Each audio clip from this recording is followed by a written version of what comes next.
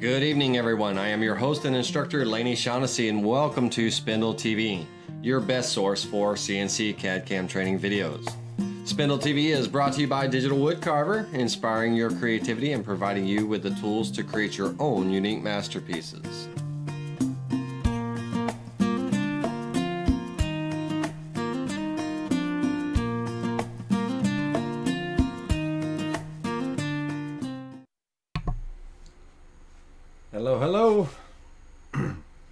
How's everybody doing this evening? Hopefully, you're doing well. And uh, hopefully, this uh, evening's class will go much smoother than last week's class. That would be uh, that would be a pleasant change, uh, wouldn't it? last week's class was a disaster. Um, we were having all kinds of technical issues. Hopefully, this evening's classes uh, will uh, pick up and uh, do much better and all. And then Wednesday's class coming up, we are going to revisit that uh, TNG. Uh, those uh, wonderful folks over at Planet CNC informed me that they had changed the way they set up the codes for creating their buttons, and then you know they didn't update the their instructions and things. Um, and, uh, you know, uh, heads up would have been nice. Uh, but, uh, you know, they've got so many things going on over there and creating so many wonderful products and stuff. Um, it's, uh, but we're able, you know, I was able to uh, this weekend create buttons and all that wonderful thing, and uh, uh, it worked like a champ. So we're gonna revisit that again on Wednesday, and um, tonight we're going to talk about, uh, you know, uh, creating and carving urns. Uh, now, the, the title is uh, Pet Urns, but the same principles and everything would apply for, you know, human urns as well, uh, for loved ones and things. Now, um, we're going to look at a couple of different things. We are going to be working in a combination of uh, Vectric VCarve Pro, uh, which uh, Desktop Pro and Aspire will apply to. Everything we do in here, you know, you can use all three of the software. Uh, but we're also going to do a little bit of work in Aspire to show how to create some custom curves and things uh, to your boxes and, and, and designs and stuff. Uh, so we're going to work in a little bit of Aspire today to show that off as well. The, uh, want to welcome everyone uh, that's popping in. Uh, I really appreciate you taking the time with me tonight. And like I said, I hope everything goes uh, smoothly. I do want to have, while I have everybody here, or uh, all of you here, I want to have an update or give you an update. Um, the uh, new Quickset touch plate toolpath G-code generator for the DWC Quickset uh, I was using it this weekend, uh, worked like a champ, uh, but I did discover when uh, including a tool change that I had it set up to move only in the positive direction when the tool moved, uh, you know, back to, uh, you know, be able to make a tool change before the Z touch off. And there was times where I wanted it to move in the negative direction, you know, negative X or negative Y versus the positive direction. All and I didn't have in the uh, program the ability to um, to do that uh, to put in like a negative 3.0 or something and it moved to that position and then moved back to where it needed to be uh, you know for the Z touch off and all properly uh, to include that negative and things in there that positive should I say if it was a negative. So I'm going to be working on that. I'm going to uh, uh, change the code a little bit and I'm going to release an update for it uh, in the uh, owners group uh, this week. Um, just uh, keep an eye out for it. Be sure to download it if you did download the the digital uh, the Quickset G code generator program that I made. be sure to um, download the newest version and install it and stuff when I get it out because. Uh, like I said, I got a chance to really use it. Uh, worked like a champ every time, and uh, really happy with it. But I did notice that, like I said, during the tool change operation, it only moved in the positive direction. There were times where I wanted to move in the negative, and I didn't allow for that in the programming. Uh, so I'm just going to make a quick change, and uh, so I can allow for that, and I'll release that update to everyone. All right. So uh, a little bit of a, uh, you know, it's a topic. I mean, we have to, you know, we do we cremate uh, people, we cremate animals, we cremate, you know, uh, marshmallows at campfires and stuff and all. And so we need to build uh, a memorial box for these occasions, except for the marshmallows. We just eat those.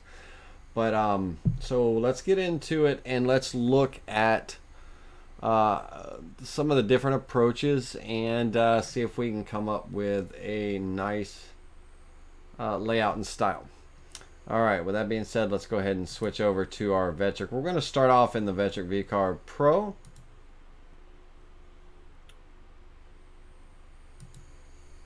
And um, once we get into the Pro, uh, let me minimize my Aspire here and get into the Pro.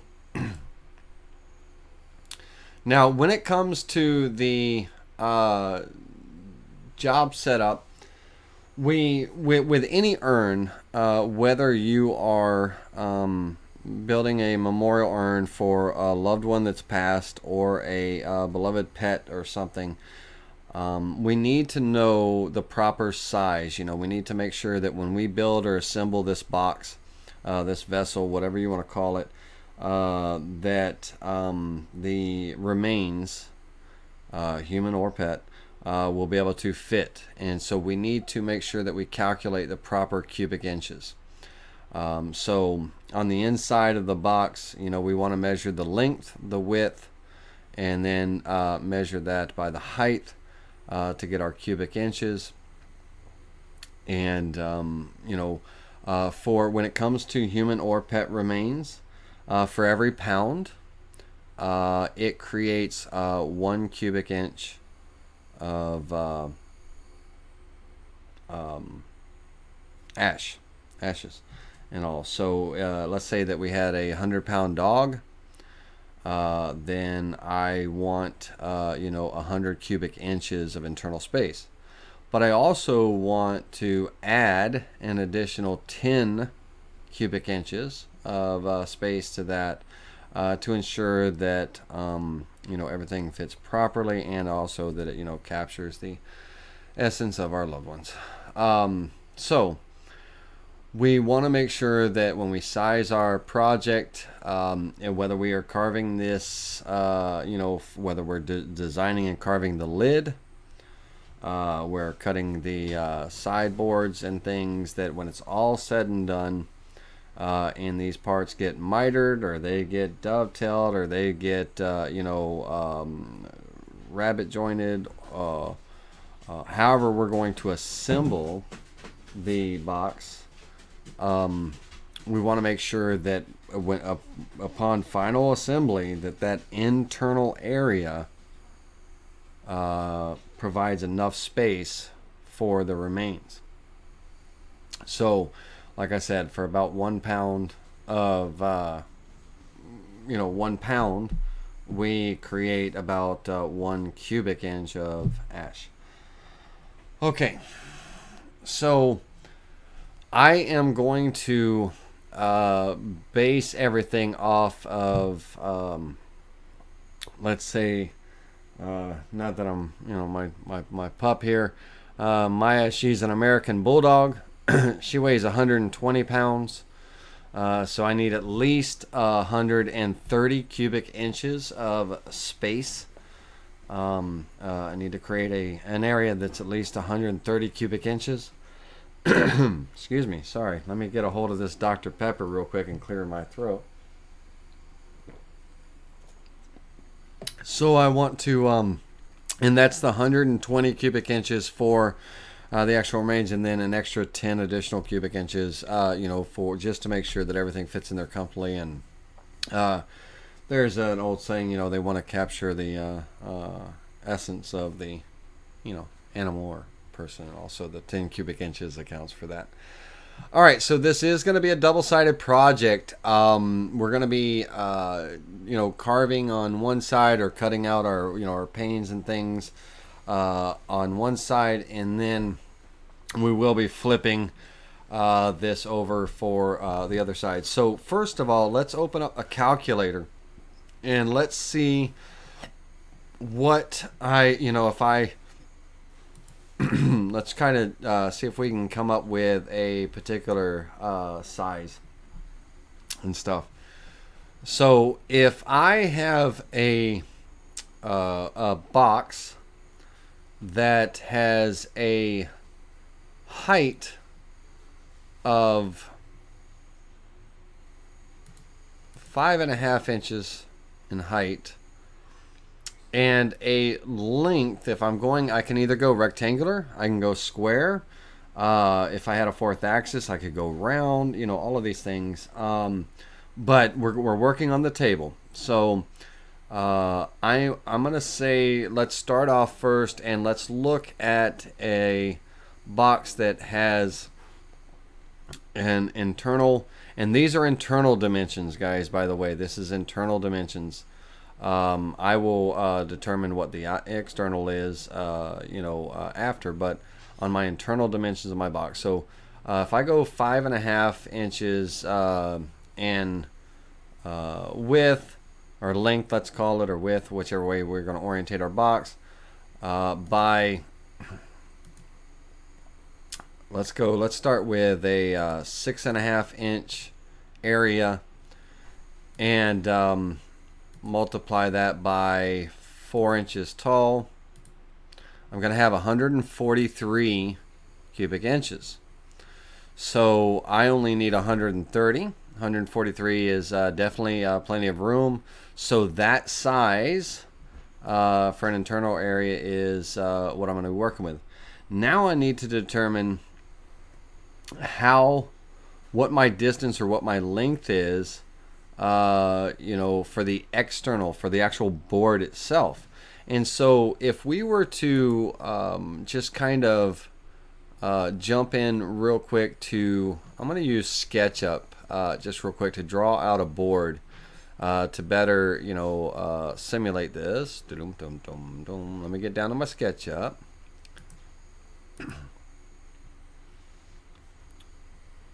Let that uh, SketchUp window open. Alright, so I'm going to, oops, I don't want to edit. I'm going to draw a rectangle. And we're going to go a uh, length of uh, 6.5 by 5.5 for that internal area. Enter and I'm gonna push pull this up to uh, let's say that I was using three quarter inch material you know. The thickness of material is gonna also you know it's gonna be determined uh, you know that's really gonna determine you know the exterior size as well. Now if I take and uh, let me rotate this a little bit. If I take and grab a protractor here and I'm going to rotate 45 degrees. And I'm going to kind of draw out a line.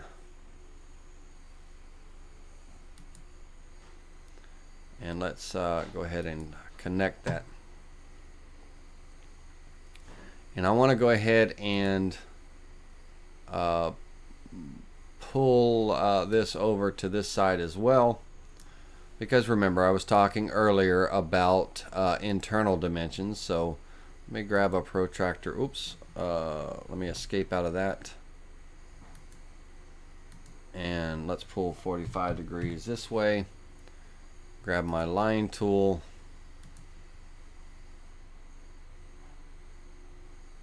Snap to that point and snap to there. And I'll go ahead and uh, just for kicks and giggles, we'll spin this around, push, pull, and pull this out.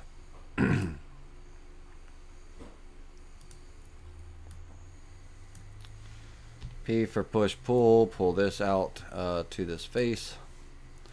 And so now I can come in and let's get rid of these lines now. And if I take a measurement now, excuse me, if I take a measurement, my overall length of my board before that miter cut, if I was doing miter, is going to be 8 inches, right? Now, my of course, my five and a half is still going to remain the same.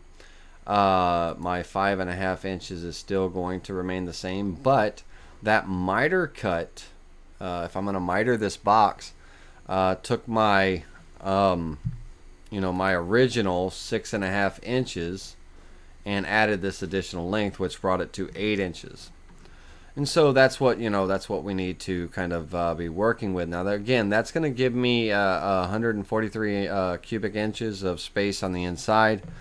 If I um, wanted to reduce that down, then I could reduce my size. But th this would be this this will be okay uh, for now. So I'm to go in and I'm to go along my X eight inches I don't know why my throat is uh, so froggy tonight.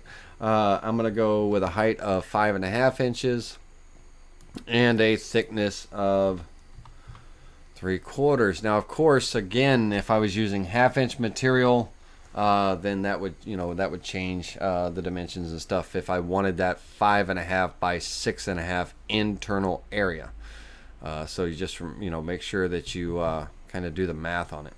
Now I will be um, referencing off of the same face.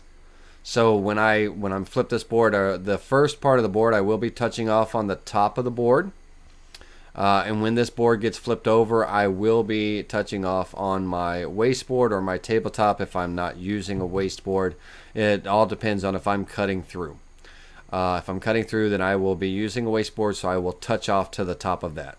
If I'm not cutting through and I'm just doing some carving and things, uh, then um, I'm going to, uh, you know, touch off on my tabletop. But we're flipping this board. So if we flip this board and we're not using a waste board, then the alignment pin method is out of the window, right? So we would have to clamp this in a way that when we, uh, you know, uh, we would have to clamp this in a way by building some kind of a frame 90 degree jig or something around to uh, trap it that when we flip it, we are maintaining the same orientation, the same place, right? If we weren't using a wasteboard, we can't, we don't have anything to put our alignment pins into, right? So we would have to figure out another way to jig up or clamp this board uh, to be able to flip it and maintain our position and things. Now, uh, for this, um, I will be uh, uh, on here. You can start off on the center or any of the four corners of your board. Uh, we are that's our XY datum position. And for this, I will be using the uh, DWC quick set. So I am going to reference. I am going to reference off the bottom left corner uh, for this.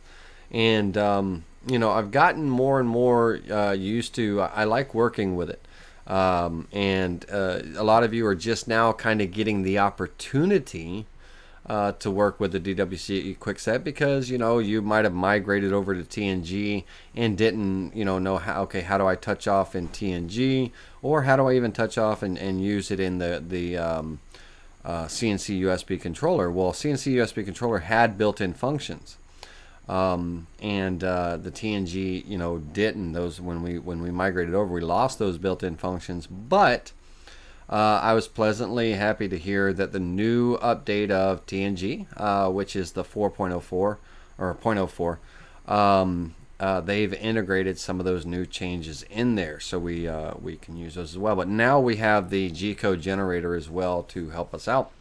And uh, a lot of you guys and girls are just now getting the opportunity. You've had your quick sets for a while, have never used them, and you're getting the opportunity. Well, I, I've gotten to use mine uh, from the prototyping phase, and I begin liking it more and more. I used to be working off the center. I still work off the center for a lot, but uh, lately I've been working off the corner. So that's where we're going to work for this. But you can absolutely, any of these files that I share with you, you can change your uh, setup in any way necessary. Just be sure to recalculate the toolpath. You should never take a toolpath for granted anyway. You should always recalculate it and check them for uh, speeds, feeds, and, and settings and all to make sure that they uh, are uh, uh accurate for your bits and in your machining methods. All right, so we are going to start off on the bottom left corner, and I am going to flip along the X direction. We can flip either X or Y, it doesn't matter. But we have to choose which way we're going to flip because that's going to tell the program which way to orientate the vectors on the other side so that everything uh, you know calculates and comes out correctly. So uh, we definitely have to pick that. And I'm going to go along the x-axis for the flipping. And I'm going to click OK. And this is going to be my setup. Now my small box uh, is going to have an internal dimension of uh, five and a half, uh, six and a half in the length by five and a half uh, wide. So my um, boards, if I have the 2440, I can cut two sides, you know, and two, I can use two separate boards uh, and I can cut both pieces, both parts. I don't have to cut them out individually. I've got this set up for an individual piece, which would be I mean, it's doable, but it kind of makes no sense, right? Uh, you know, we could if we if we can put a longer board in there and cut either all four pieces out, if we have that room. Uh, if we had like you know we have that 24 by 40 inches, I can definitely get the four parts out of a board on that 40 inch. Even on the 24, let's see here, six uh, times four is 24. Uh, we're going uh, we're going eight. Eight times four is 32.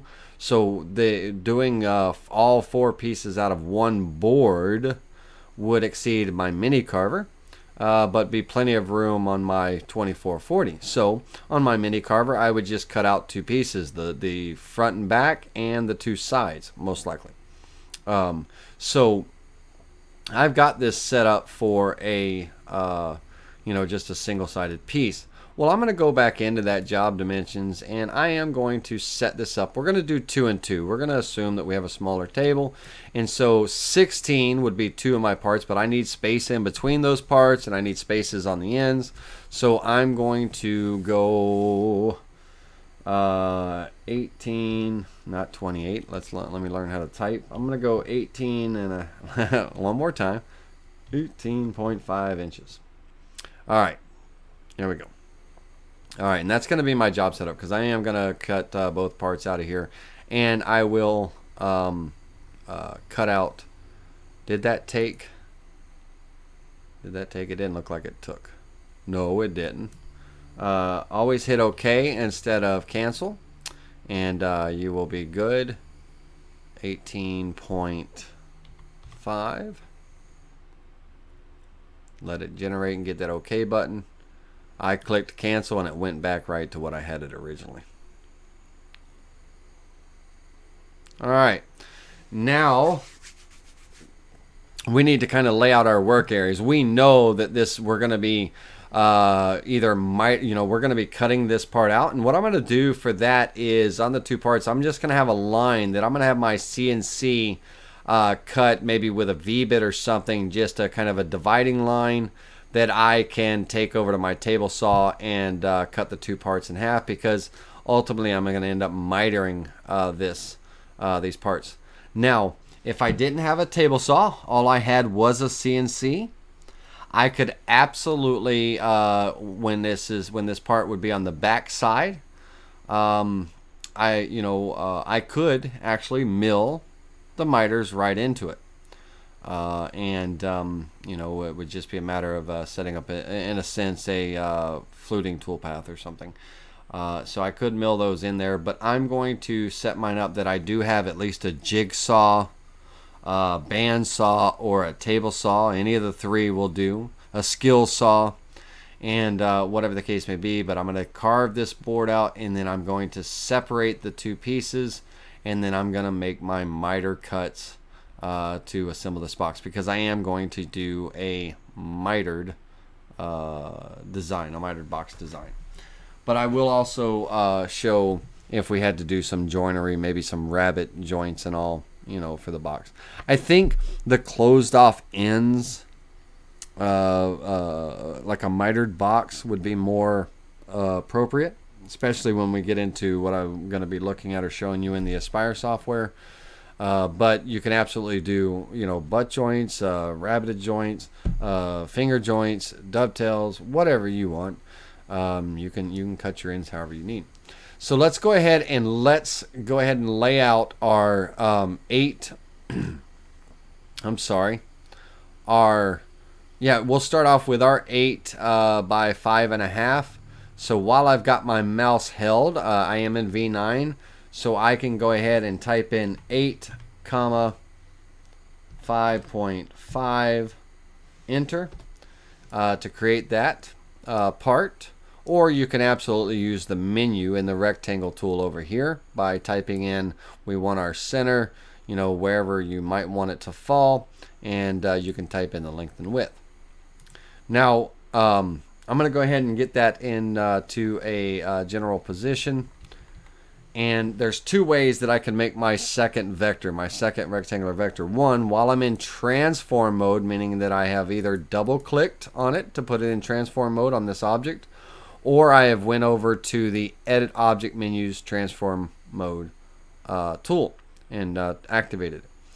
And while I'm in transform mode, I can hold down my control and alternate key. I want to use the alternate key because with the alternate key, it keeps me on the axis no matter where my mouse is. You see my little indicator up there where my mouse is. It's keeping me in alignment with the first object. So I'm going to go ahead and uh, let go there. Now that's one way I could create the vector. Uh, the second way is I could absolutely mirror it as well. I can use the transform objects menu. I can mirror it and I can create a mirrored copy and flip it about job center. So, or I could just freehand draw another rectangle. However you want to get your shapes on, on point. Now, I want a certain space between the two parts. So I will use, uh, while this uh, uh, object here is selected, I'm going to uh, select the first rectangle last and I'm going to use the alignment tool and I'm going to align to the outside edge of that part. And with that I can deselect them and now reselect this rectangle. And I want to move it relative to its current position along the x-axis left and right on your screen is your x-axis of your CNC up and down your uh, height of your screen represents the y. And so I want to move it relative. I want at least I'm going to be using a quarter inch end mill uh, to cut out these two parts. Uh, so that's you know for for both parts I need at least that quarter inch gap but I also want uh, some meat in the middle. So I'm gonna go uh, and put a uh, 0.625 in between and click apply. Now I am going to come in here and select both of the objects and I can do that by drawing the selection window around them or I can just come in and click hold down my shift key and click on the second object to uh, you know select both those items either way uh, now back into my alignment tool, I'm going to make sure that those two parts are centered on my material. Now, here's where the problem in lies or falls. Okay? Or no, I'm sorry, it doesn't in and. Um, I thought I drew these parts short. Uh, these are my eight. This is my outside dimensions, so they're that's right. Uh, now I want to create my internal dimension so I know where to because I'm going to have miter cuts on the end of this. So I need to know where I'm going to be doing my carving, uh, cutting out, or whatever the case may be, so that I don't accidentally, depending on how deep my carving is and all, I don't come into that miter cut or something like that. I don't want, you know, uh, to do that. So I'm going to go ahead and open that uh, rectangle tool back up. And I'm going to um, come in and just somewhere in the general area, I'm going to kind of freehand draw. And this is going to be a length of 6.5. I'm typing in the physical. If you look at the bottom right of the screen, you will see that value 6.5. So 6.5, comma, that's my width. The comma separates width and height. 5.5. And click enter to lock that in and I'm going to once again select that object I just drew and select the outer boundary of my board piece uh, and I'm going to use the alignment tool. And this time I'm going to center to that last object that I selected. I want to center it in there. And um, you know create that kind of this is my work area now. While I have um, it in the position for here and everything is centered and separated and all I'm gonna go ahead and mirror this. I'm gonna go ahead and mirror this horizontally to get it into the other part as well so now I have my two pieces and I've got my vectors kind of laid out now mind you uh, I am cutting uh, this board is cut down to the exact dimensions on the y-axis, the width of the board, should I say. It is cut down to the exact dimensions. Uh, so uh, these overlapping lines of the inner rectangle and the outer rectangle, I'm not worried about because I am. These are just my boundaries. I'm not using them to do any profile cuts or anything like that. Um, they're not going to cause any complications with the toolpath. Uh, if this board was larger and all, um, and I was still, it didn't matter if I was cutting this part out, uh, then um, I'm only going to be selecting that outside boundary. This internal area is not to be really used for anything except for a reference window for where my design is going to go. All right. Now, if you're wondering why, or you might not be wondering why, you, may, uh, you know, but I'll tell you uh, why I'm kind of going into longer explanations and stuff is because we do have some new users, um, and uh, uh the um, with the new users and all, I want them to have a uh, complete understanding of what we're doing. Now, the uh, remember what I said about having a center line. Uh, just I'm gonna have the V-bit carve a small, maybe a 16th or an eighth inch deep line groove here, so I have something like a reference line when I'm setting up at my table saw or my band saw or whatever. Uh, I want a reference little groove cut there that I can cut along. Um, and uh, so I'm and I can also draw a pencil mark, you know, if I wanted to. But I'm gonna take my line tool and I'm going to uh, come along here and I'm going to snap to the uh, top and I'm going to just straight down 90 degrees snap to the bottom. Now in V9, Vectric V9, uh, when you have your uh, smart snapping on as well as your geometry snapping and things, um, let me say that backwards, smart snapping and geometry snapping.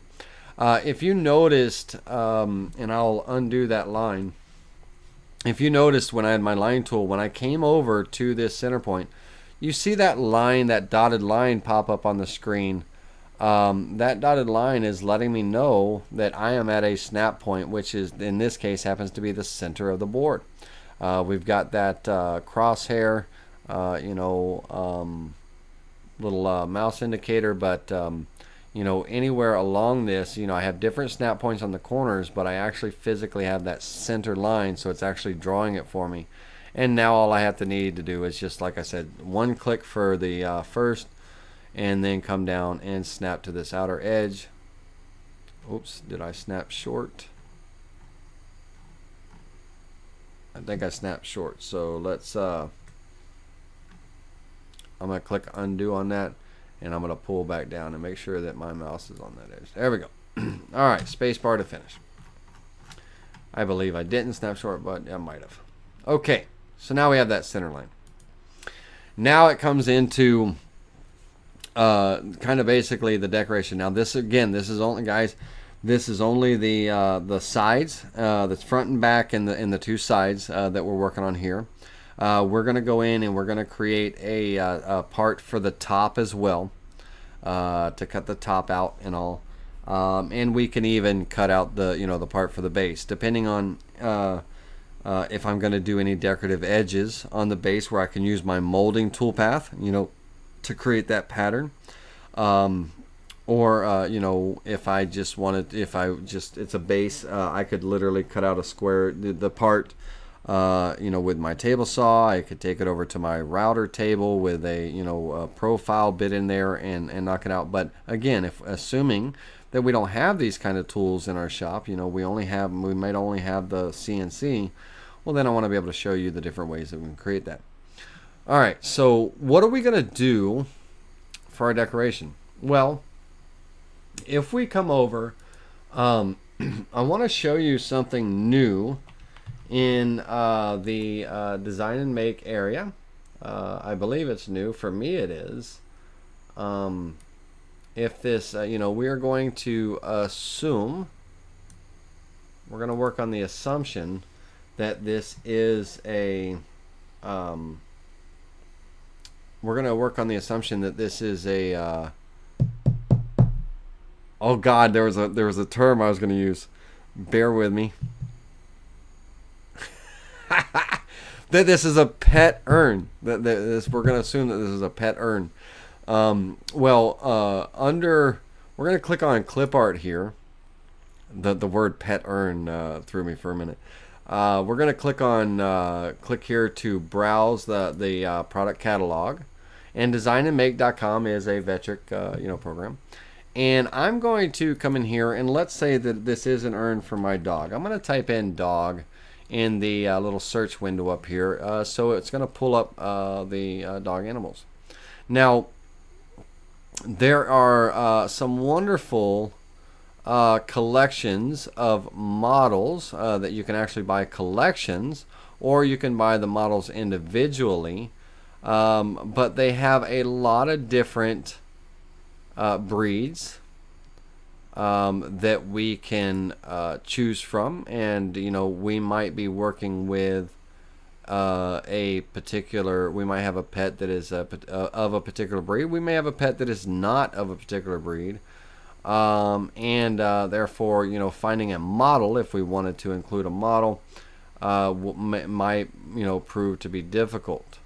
Now with me, I have uh, an American Bulldog uh, Maya, and uh, I you won't find a I wouldn't find a model uh, in here. Unfortunately, they they can't have every um, you know every breed of animal, but um, there is uh, you know no uh, representation of a model. If I wanted something close to the breed of my pet, uh, there's nothing in here that would represent you know my American Bulldog. You know the Bulldog is a completely different breed. So uh, we can eBay search. We can you know do whatever. If we have Aspire, we can you know we can import a photo and create almost like a little lithophane type thing. If we have PhotoVCarve, we could as well.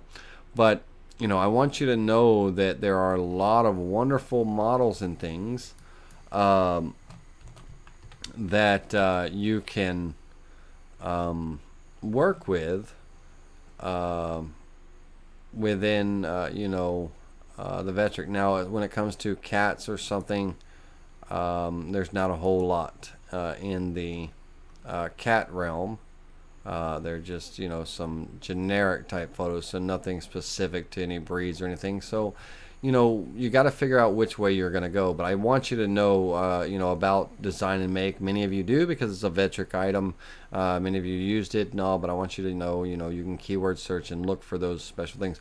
It may just be you want some kind of memorial uh, emblem or something uh, that, uh, you know, that, that that's not even of an animal, of a breed or anything like that. You might just want some decorative design. Check out design and make if you do not have an appropriate model in your, uh, you know, that came with your software. Uh, you can, there's other item, other places as well. Um, you know, eBay. Just be mindful of eBay. You know, uh, when you're shopping and all and buying models and all, you make sure you're using a reputable seller and stuff. Okay, now I'm going to assume that I'm just going to uh, have a picture in uh, this uh, that I'm going to use in here, but I'm going to be doing it kind of an inlay style um, setup, meaning that I want an oval uh, on the front of the box that I'm going to have a picture of my dog in. And uh, I'm going to have some area for some text.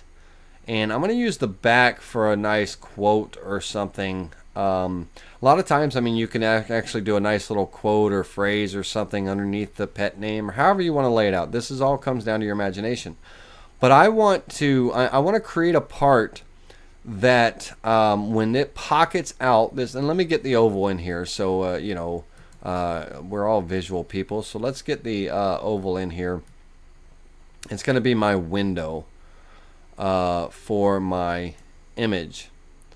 um, that I'm going to do. Now Maya's a fat 120 pound dog, so let me see if I, I might need to stretch that. Hold the shift key down. I might need to stretch out that oval a little bit.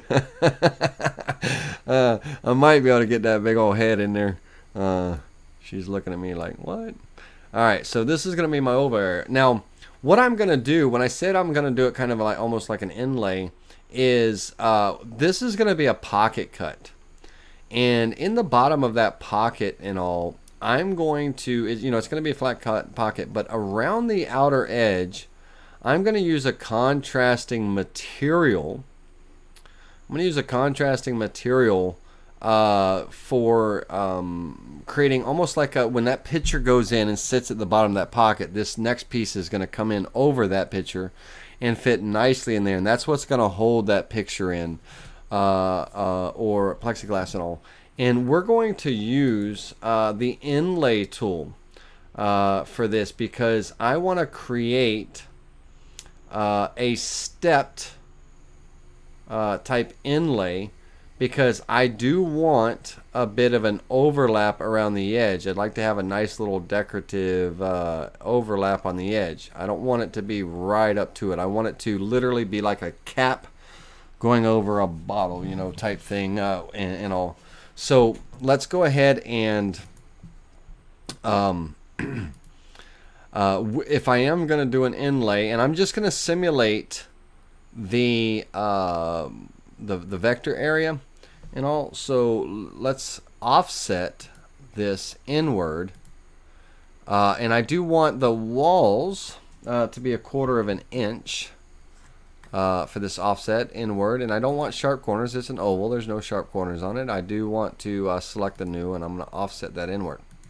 And so uh, this uh, this uh, think of this center area as being the window where you know uh, that pet picture is.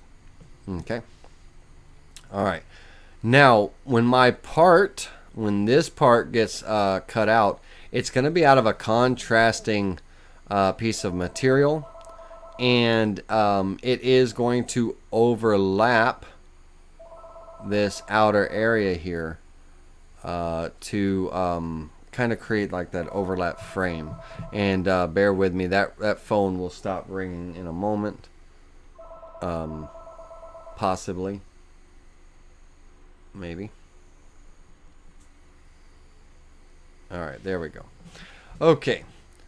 Um, so that's going to be our window. Now we're going to come back to that when we get ready to create the toolpath, but let's go ahead and get everything uh, laid out. So I'm going to go ahead and I want uh, to, I'm going to kind of lay out my area because I want to show you guys, we always work with the draw circle tool. Uh, you know, we hardly ever get to work with the draw text within a vector box. And, um, you know, we do that when we're doing, you know, working with text on text. It's a fabulous tool to use and all, but I want to kind of show it off a little bit tonight. so, um, uh, for this, I do not have to draw out a box to use that tool, but I do. I want to. I'm kind of laying out my uh, area and things, and so uh, for this here, we're gonna have. Um, and I'll center everything up, make sure everything is nice and centered and stuff. We'll do that. We'll do the alignment. I'm just getting the the parts and things on here. I'm going to assume that this is where my pet's name will be. Uh, you know how high or how tall I want. You know I want the name to. You know it's it's it's my pet's name. I want it to be. I want it to kind of stand up. So it's going to be quite tall. Um, let's kind of give it just a little bit. Not much there. And I'm going to do a simple little uh, quote here. You know, you will be missed. Uh, you know, uh, no one fetched a ball like you did or whatever you know uh, we'll do something cutesy there uh, in a moment. Um, so now that we have this let's go ahead and make sure that everything in its position is centered um, where I want. And I want to be sure that I'm not my material now not my material but this inner rectangle that boundary that I drew I want to be centered within it. That's my working area. So I want to select it last uh, the oval uh, was first, this last. And I'm going to go into the alignment tool and just make sure from the left and right that it is centered. And notice now it is. For my rectangle, uh, where the name's going to go, uh, same thing. I'm going to use that uh, first, use my inner boundary that I created last, and center that up. So now my part is, is centered, however it may be. Now, using the uh, draw text within a vector box, while that box is selected, when I open that tool, it's going to put the dimensions. It's going to put the dimensions. Uh,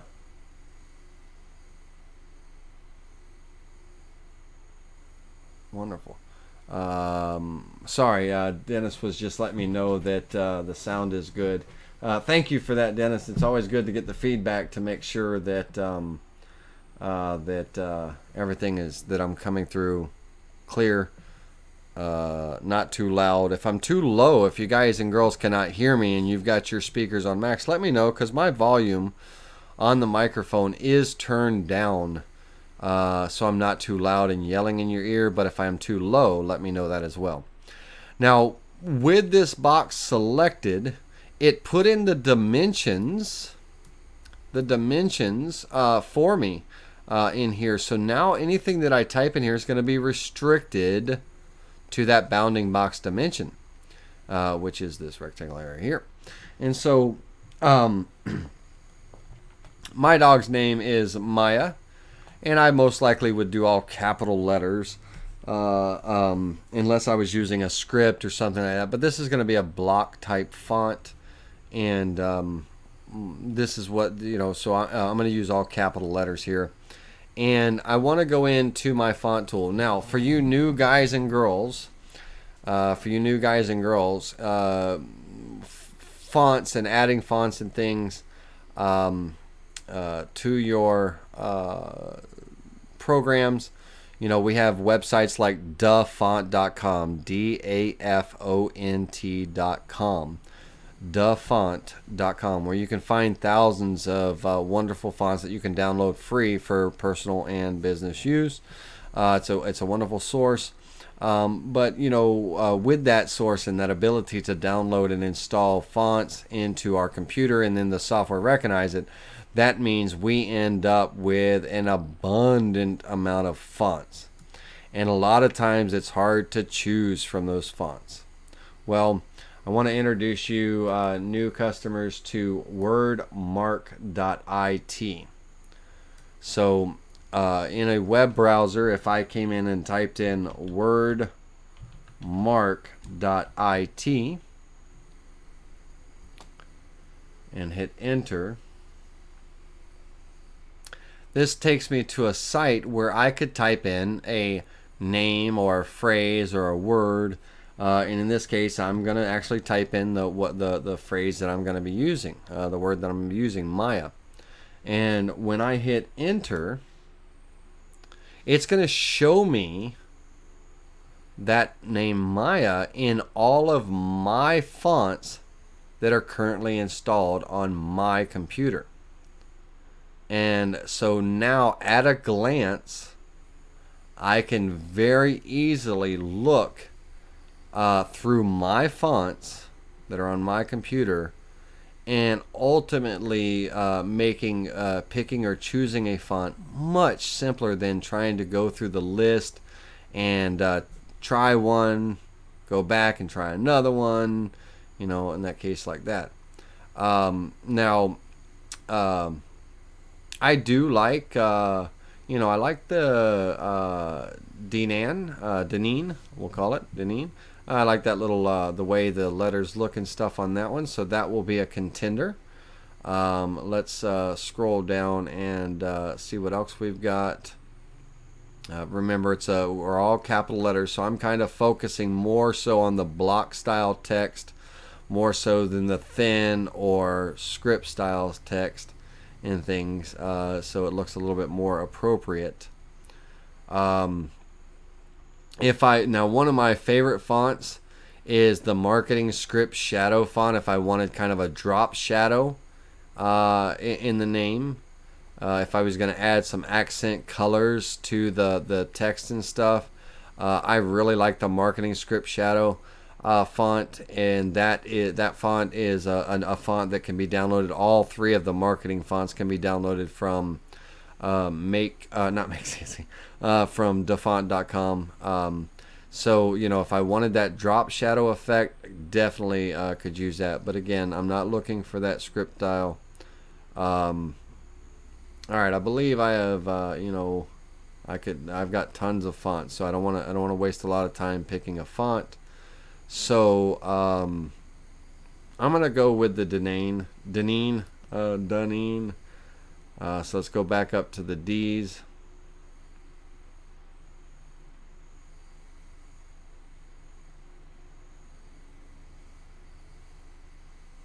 Get back up to those D's.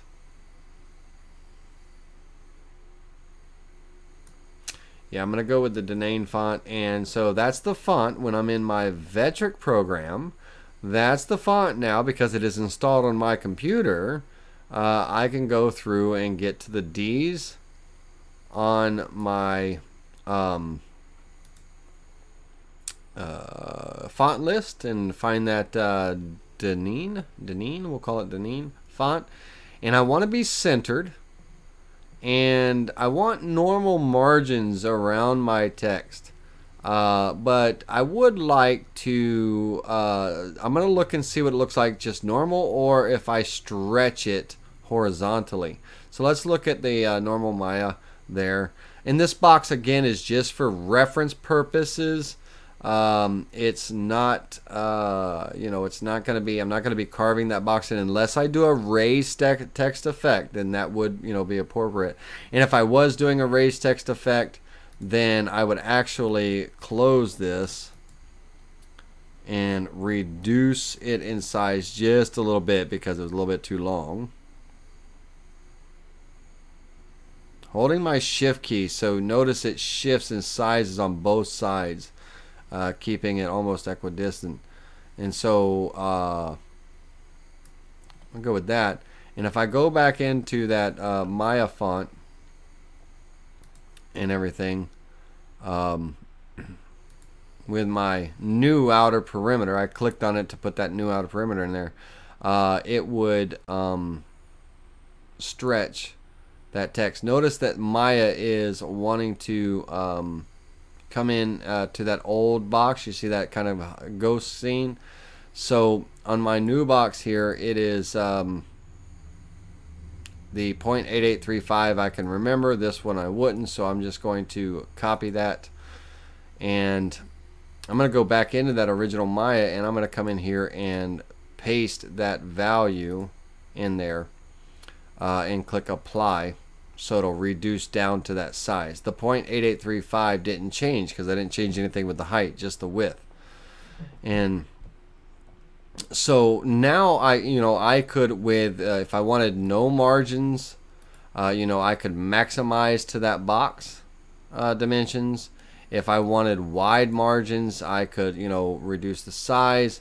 I'm going to go with a normal margin because uh, that will be good. And I do have a small 16th inch end mill, so if I were to do a raised text effect, um, then uh, my little 16th inch end mill could fit in these areas, I believe. I don't know. But if not, my V-bit will. Um, all right, so now I've got that. Uh, I've decided that uh, I will, just so you and all can see the raised text effects, uh, we'll show you the regular V-carving too, but since I'm going to do that, then I don't want square corners. I want a nice decorative internal corner, and so I'm going to go back into the rectangle tool, and I'm going to use an internal radius. Uh, quarter inch uh, radius is fine. Whoop, too big. Uh, let's reduce that down to an eighth of an inch radius. Just to give me a nice uh, uh, let's go a little bit. Quarter was too big eighth of an inch was too big let's go uh, 1875 316s kind of split it. Uh, getting into a little the tacky phase now so let's go just uh, 0.15 there we go. We'll go with that so I'm changing the radius uh, just to, to like get the you know look that I want. And so that's going to be that uh, lower area. So okay, I've got my picture area. This is going to be my pocket cut. Uh, then my uh, inlay cut, uh, my part's going to be inlaid. It's going to have an opening in the middle of it and it's going to fit right in here trapping that picture and then it is going to overlap using that step inlay so we've got this here now um, you know this is a pet memorial you we can you know I'm gonna do I've got my raised text here but I am gonna do a nice little V carve maybe something in script right below it um, just uh, using the regular text tool a regular text tool, not the text within a vector box. And I'm just going to, I don't know, would you put it in quotes? Not really. It's, I mean, if it was a quote, you would, but not if you're saying it. Uh, so let's, um, um,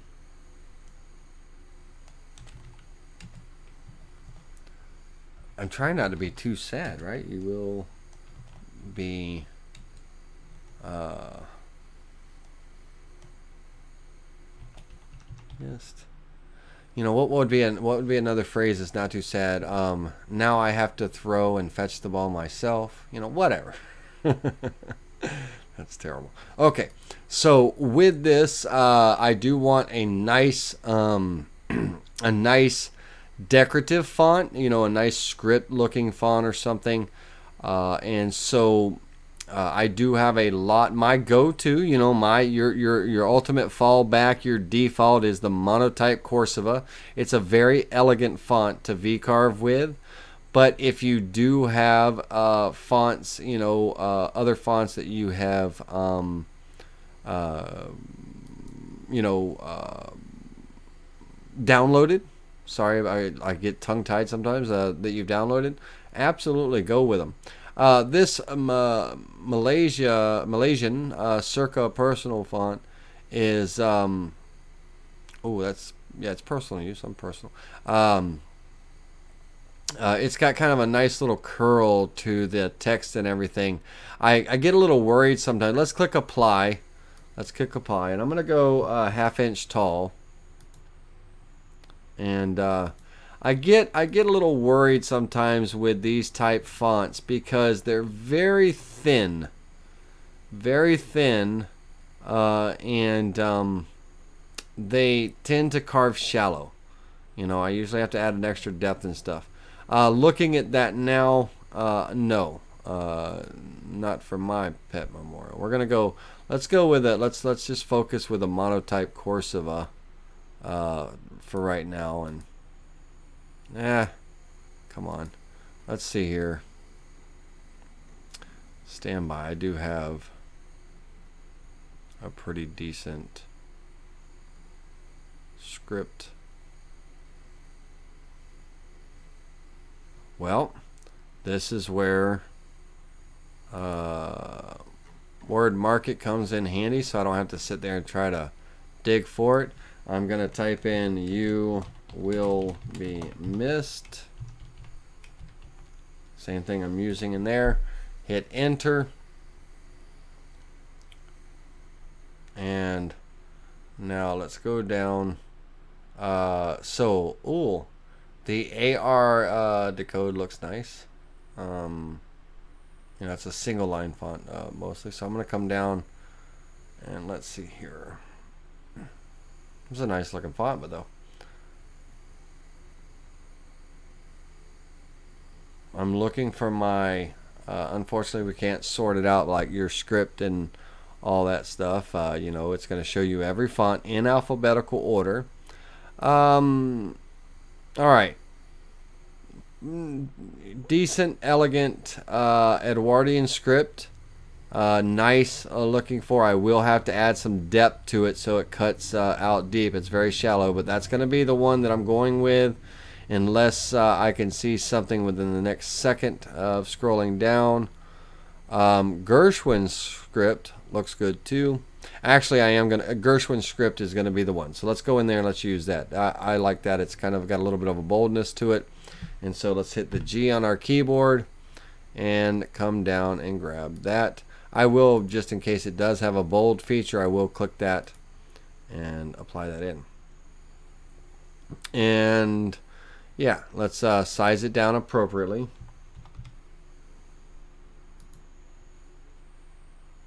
And now we got to look and see where we got to get some space from.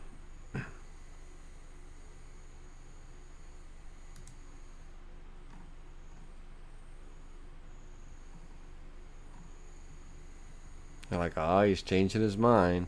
No, I just want to compare real quick. Nope. I like it. It this is more this is more yeah, Miles Maya's a classy girl, so she's gonna get some classy text. Alright, so I'm gonna take this and just kinda give it a little bit of a bump up. Um not too much, you know, I wanna kinda be right where I am, but I wanna I also wanna provide a little bit of I don't wanna be cutting at the bottom, so I wanna provide a little bit of clearance from the bottom to my text.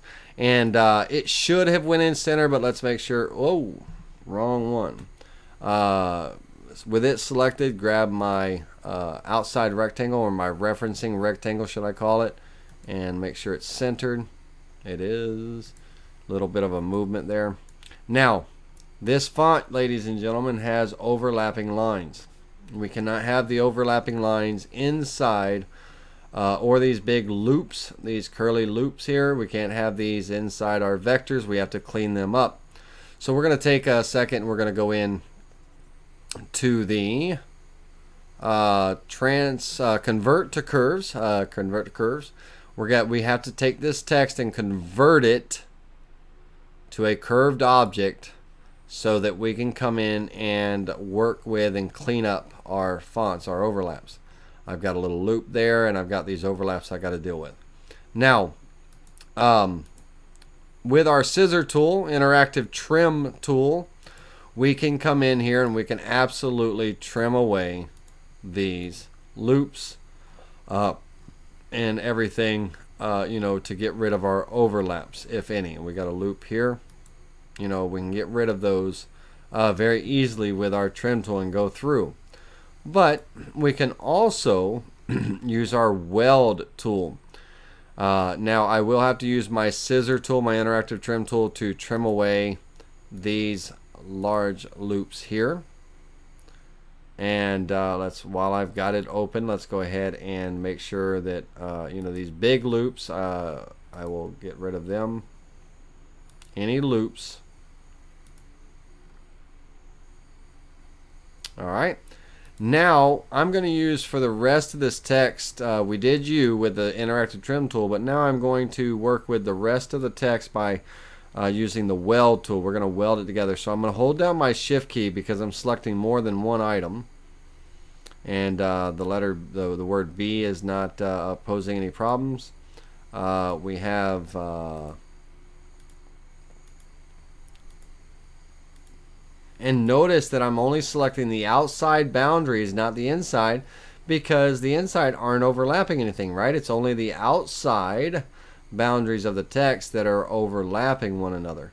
And with those uh, texts selected now, I can weld under the Edit Objects menu. I can weld those together to remove those overlaps.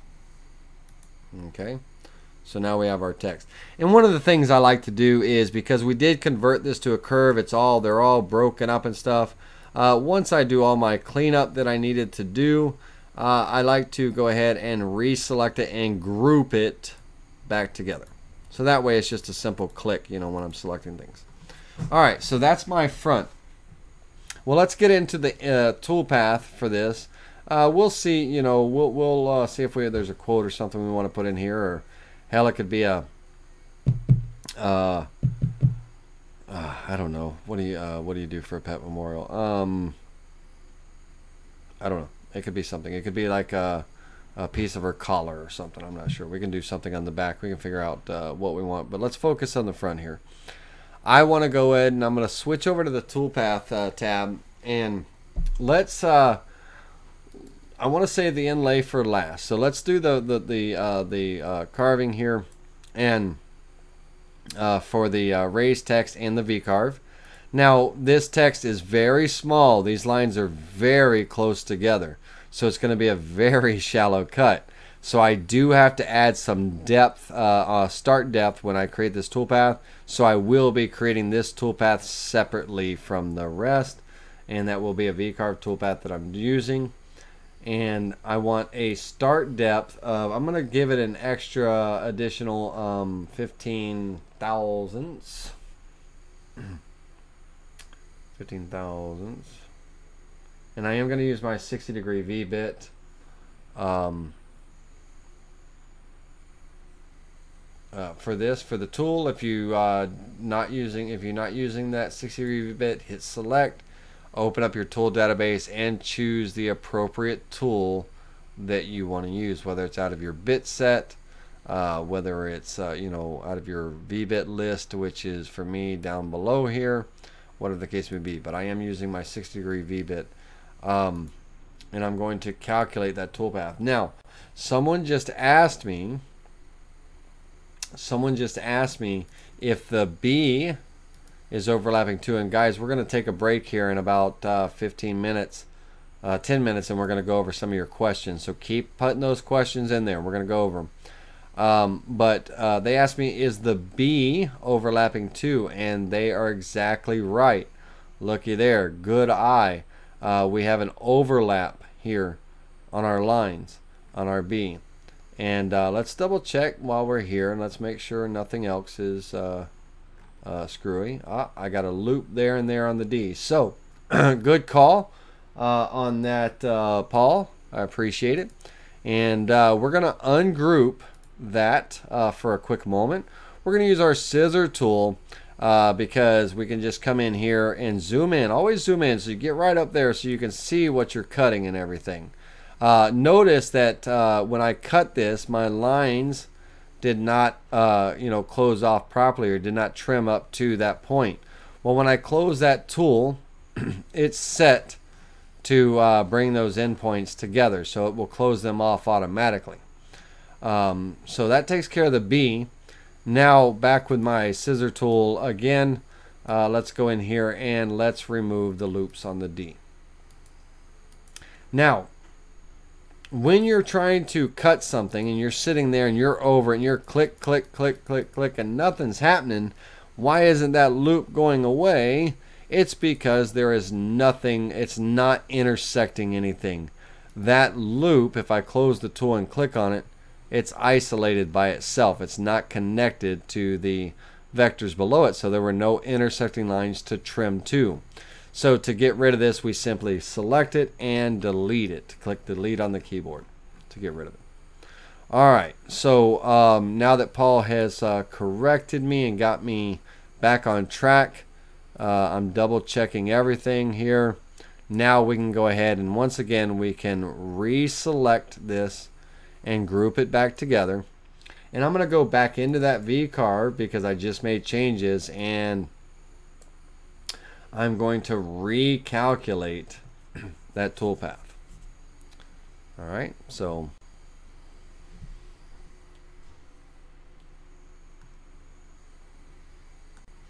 if we preview the uh, selected toolpath, I'm going to use no color on there so we can see it in its full uh, glory.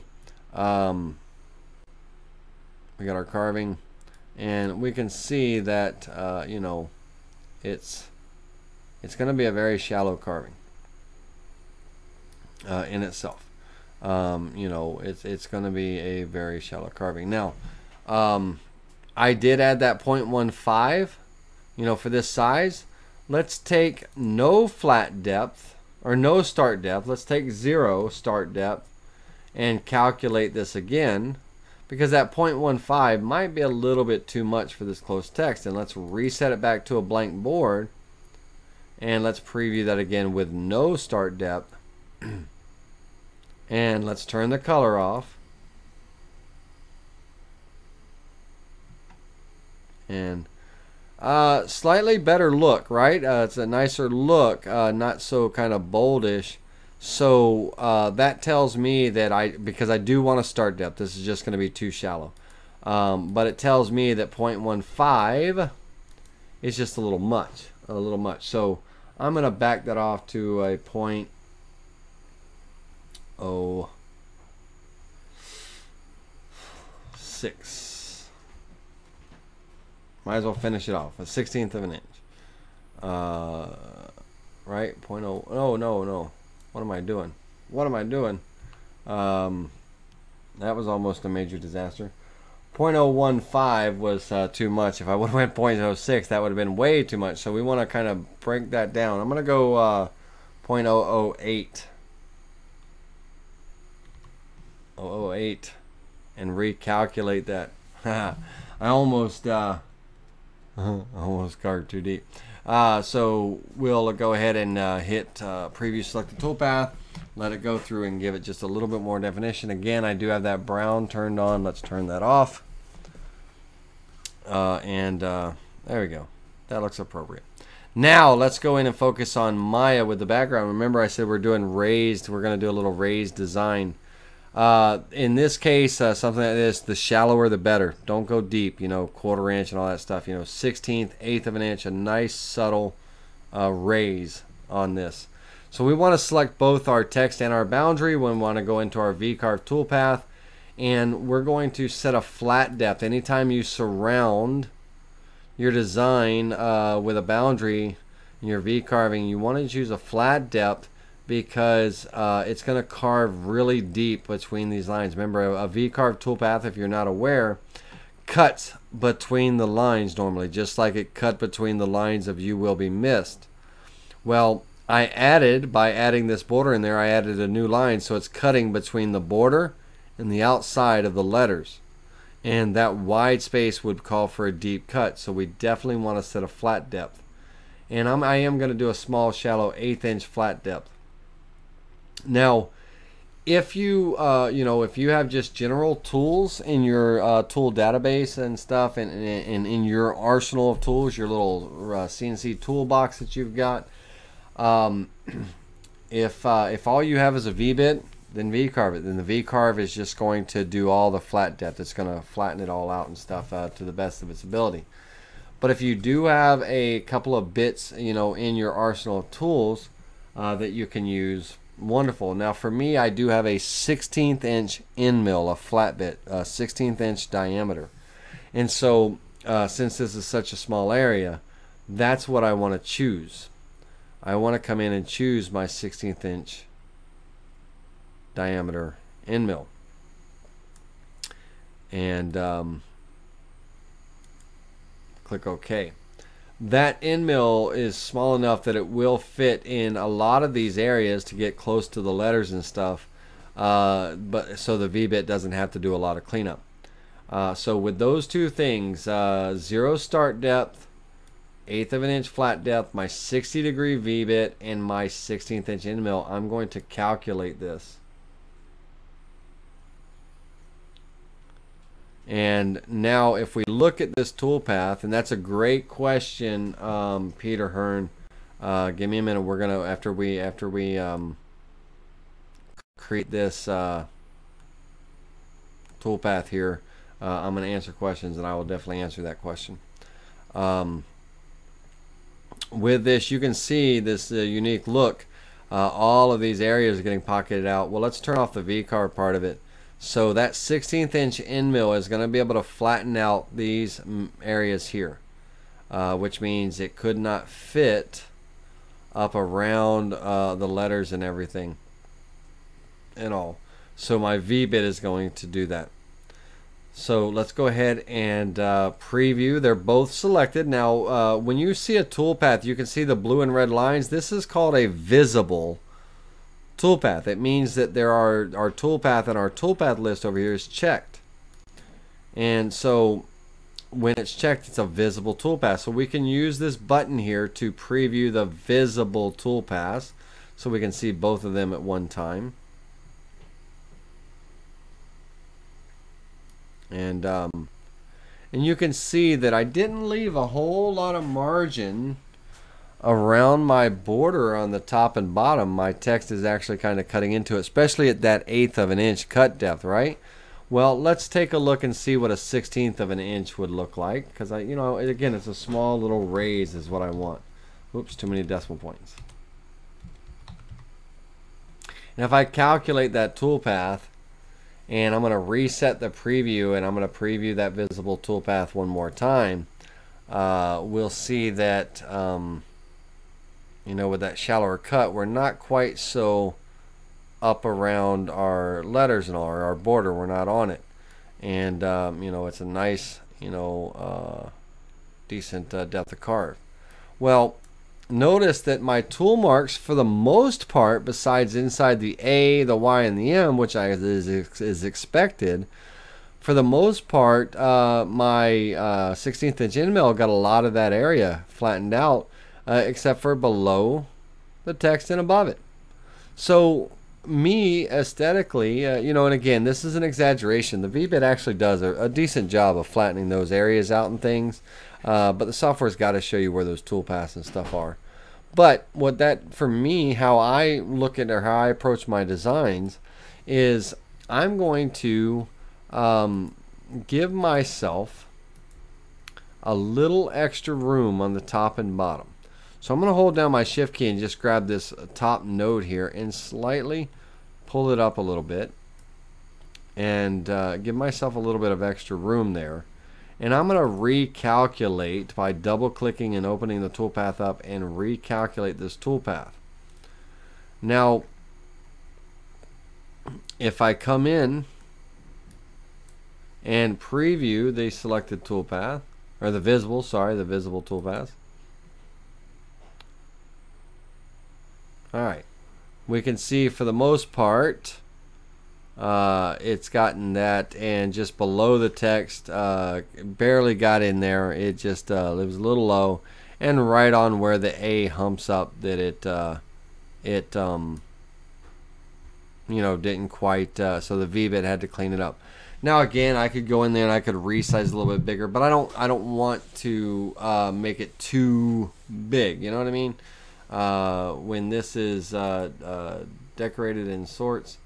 Um, I, I, you know, I don't want it to be too big. So this little bit of area that the V-bit has to clean up is fine for me. Um, I don't want it to be too wide apart and it kind of, they not relate to each other, the two vectors or the two objects. Okay, so that's good. Now if we preview uh, all the toolpaths so far, we've only created two. Uh, you guys are like moving along, Laney. By the way, uh, don't hesitate to uh, type in there and give me feedback in the window, the chat window. If you're typing in the chat window, Laney, you're too slow. Speak, speed it up. We get it. We got it. Whatever. You know, if, if the pace is good, then give me a, you know, hey, attaboy. uh, what have you. Um, we're going to preview all the toolpaths now because we do have that little Maya V carve at the bottom and um, you know we would have our bottom of our box it would look something like this. Okay now let's talk about our inlay uh, guys and girls. Let's talk about our inlay here. Uh, this center uh, vector is my window okay? Let's, let's we're to be using we're going to be using the outside vector. We're going to be using the outside vector for creating the male and female part of the inlay uh, on that male part of the inlay, when we create it, we are going to be cutting away the inside center because this is the window area. Um, but I'm, I've got a distance of about a quarter of an inch here that I want. So let's go into that inlay toolpath. Um, we're going to go into the inlay toolpath. And the step uh, inlay, I'm going to illustrate this.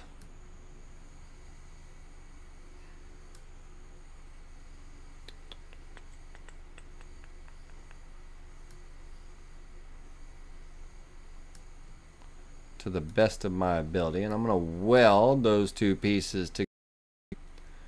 When it creates the inlay, it creates this stepped uh, look and all. And um, it, it creates uh, an overlap and all.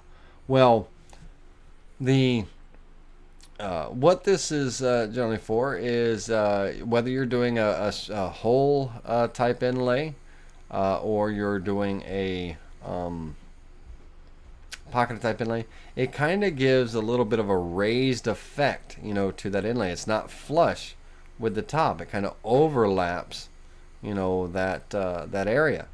And now, for me, um, I this is the part here that is going to be cutting out and um, I got to figure out now, do I want to use the step inlay? Because I really want the step on the outside, right? That's kind of the appropriate place where I want it. Uh, uh, I don't necessarily need it on the inside. But if I look back at my design, and let's just for kicks and giggles here, let's come in and let's say that that step is right in here and let's kind of rotate it you know let's get it centered so what this tells me is is if I use this instead of a single vector if I use these two vectors here um, then and I create that step it's going to give me a little overlay on the uh, you know over the window area and then the overlay on the uh, you know outside area. And of course uh, guys and girls uh, this would be like right up to the edges uh, so it's going to overlap you know uh, a good I'm trying to come on now. Now I'm distorting it. But um, you get the picture. It's going to fill in right in this area. And that's that's that's okay. Uh, because I I want a nice little decorative edge and things. So what I'm going to do is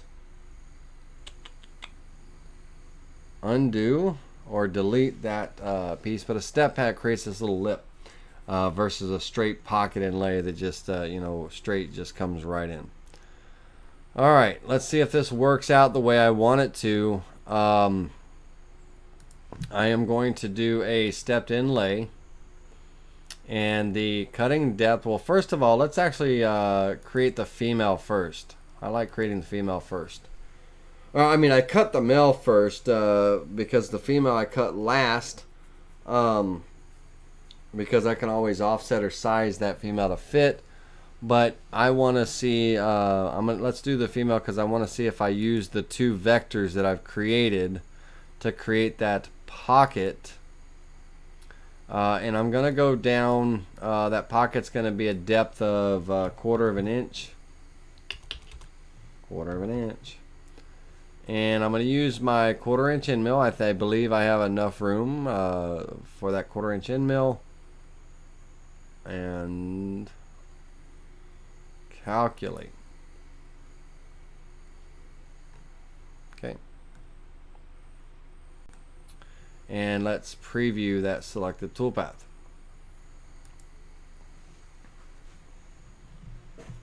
Okay, so this is going to be my inlay area. Now, again, remember what I said. Um, this uh, is my window. My picture is going to be here, so all this has to be gone too. But right now, is that's going to be a pocket cut. We're going to clean that out with a pocket cut. But I want to create that that male part, and I want to see how much of an overlap it's going to create. We're gonna we're gonna copy these vectors and move them over just for a minute. I want to see how much of an uh, uh, overlap that creates because I may um I may not like that uh, and I may have to just be stuck with a, a traditional inlay whatever the case may be but let's uh, let's take a look.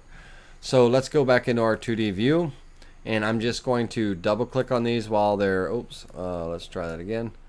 Double click on them while they're selected in transform mode. Hold down your control key and I can drag a copy off. And I'm going to go ahead and drag this copy into uh, the other window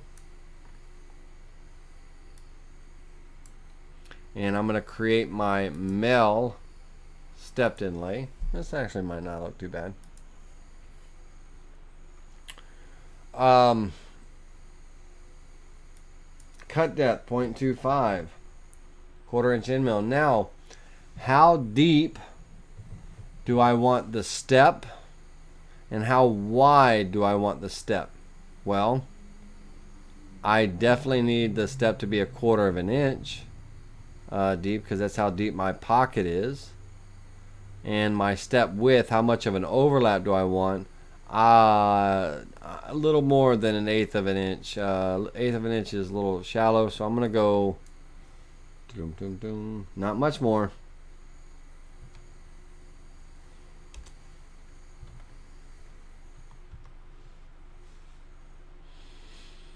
Go 3 sixteenths. Um,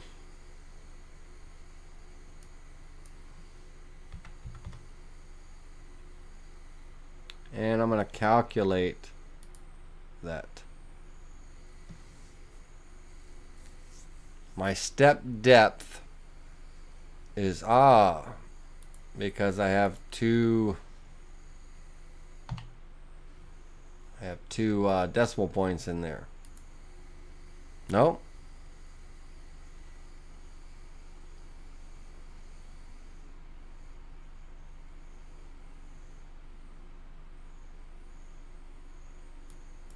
Okay, so we can't go right up to quarter of an inch. Uh, I don't want to leave too much room because this is kind of going in and trapping my picture. Dum -dum -dum. So let's go uh, point two.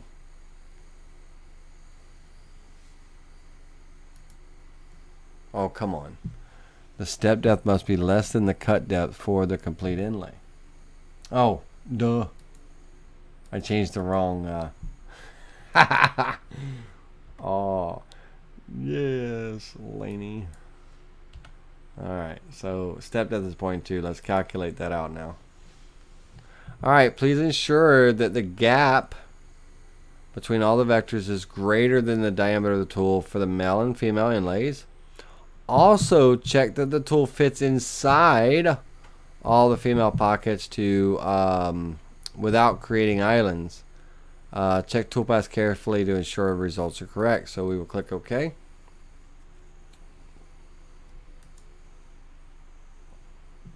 Alright, so you see what happened here.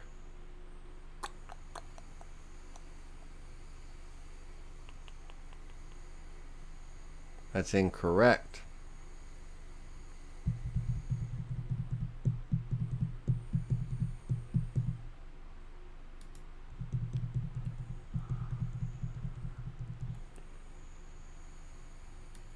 Yeah.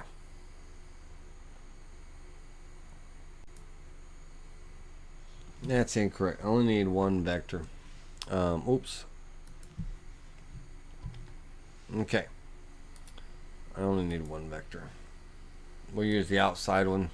That's the most important one. Uh, let's go back into that stepped inlay and let's click on that outside vector and calculate.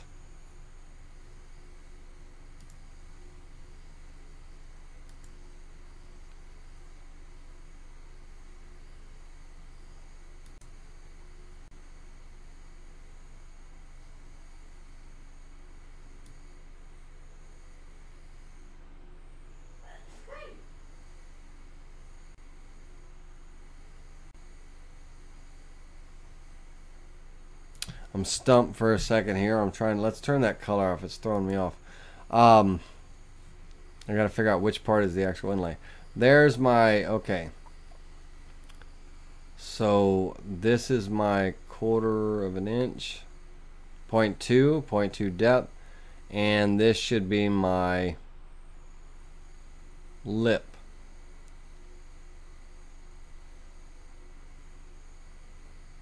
Will Johnny be good? That, uh, in order for that to work for me, I have to offset out this outside vector because that's cutting in here and it's not going to fit within my pocket. Why, oh why would I do that? I wouldn't. Alright, so let's fix that real quick. Uh, my distance uh, between the two when I offset them earlier was a quarter of an inch. Uh, so then I want to offset this one outward a quarter of an inch.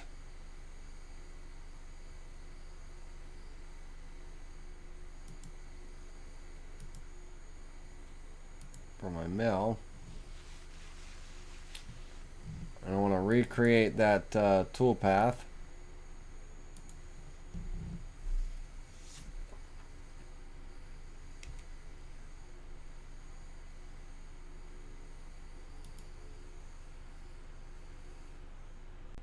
Oops.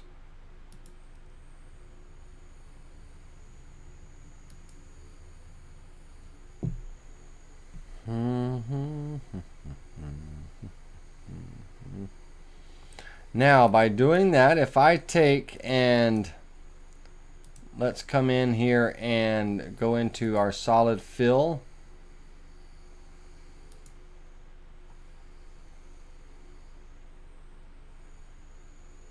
This is where that bit is cutting. It's not going to show me that step and everything. I got to kind of be focusing on that uh, the inlay. So this is the part that's going to go in my original oval and this is going to be the uh, let's turn that toolpath off so you can see it and let's turn the color off so you can see it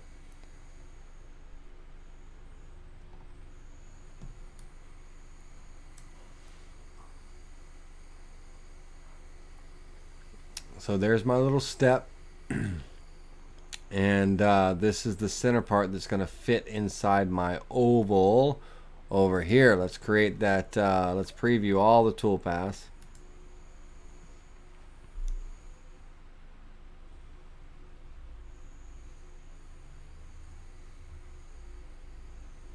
And what that means is, is on this inlay, the uh, pocket inlay, I do not need this inside vector. The way it's cutting, I just need the outside vector selected.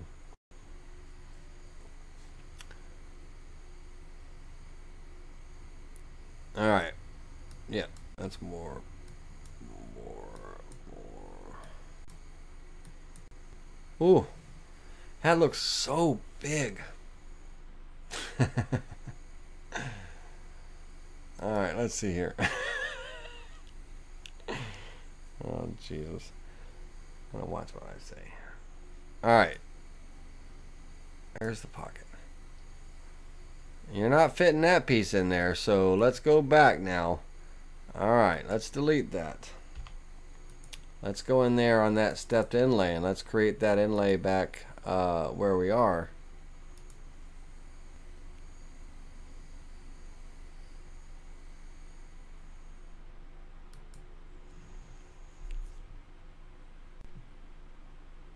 Okay.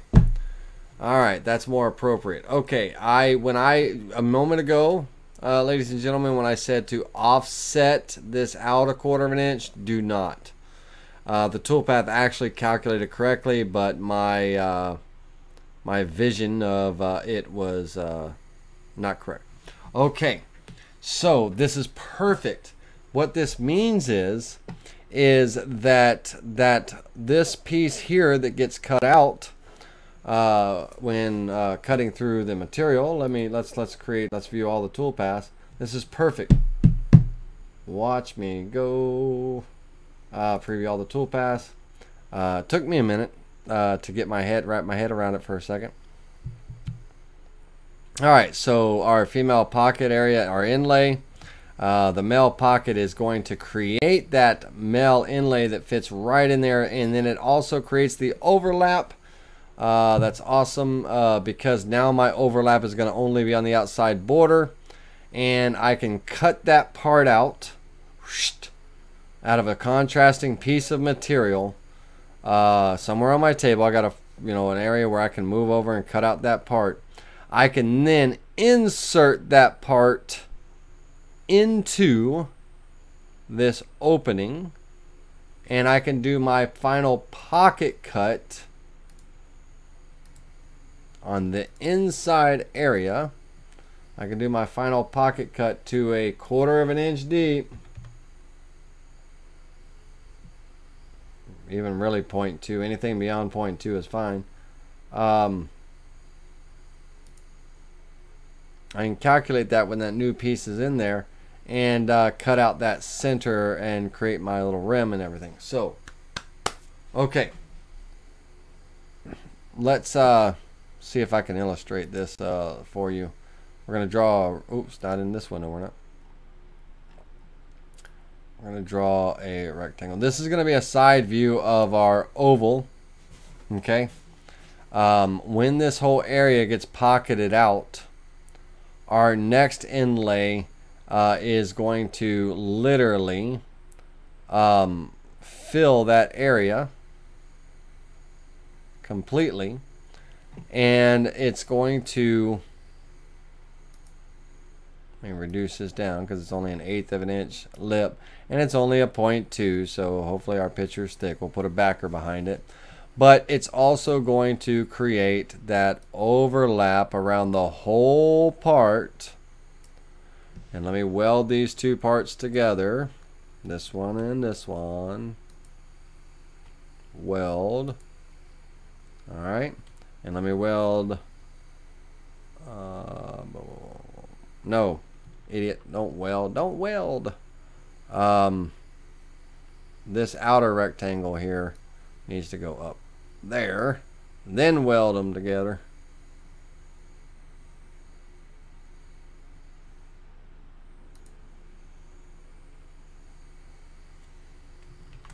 Oh, I had every. Hold on a second.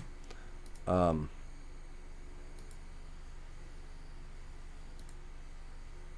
and move just move this up. And then weld those together. I'll get it here in a moment. Uh, this one's a little funky. Hold on a second. Don't weld yet.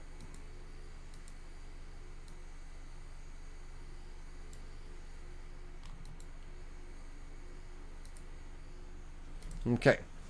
So, my inlay, when this, uh, from this side view, when this all gets pocketed out, my male inlay is going to come in and going to fit in there, uh, give me that lip all the way around the oval.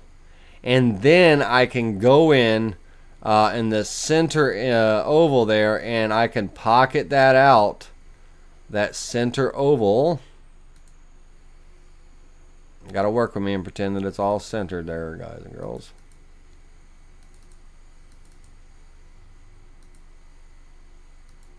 Oops. And my that'll be my view and I'll have this ring all the way around exactly how I wanted it, you know, and everything. So uh, mind you, everything wasn't centered when I cut and trimmed this, but you kind of get, hopefully you get the idea of what's going to happen here. So, awesome blossom. That's exactly what I wanted. And so let's get rid of this uh, and let's do this appropriately. So we're going to take uh, these two vectors here and we're going to make a copy of them to a new layer. And we're going to call this layer our male inlay.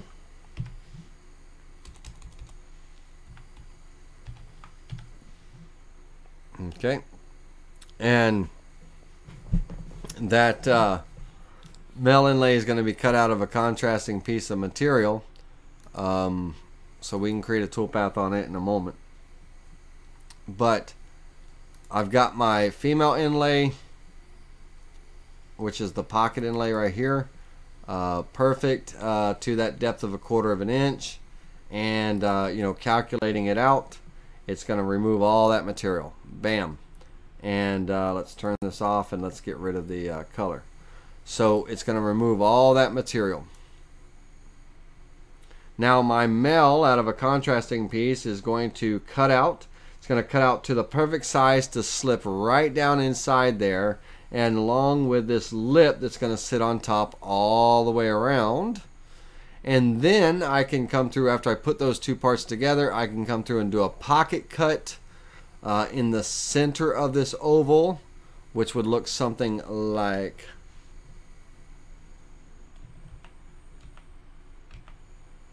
this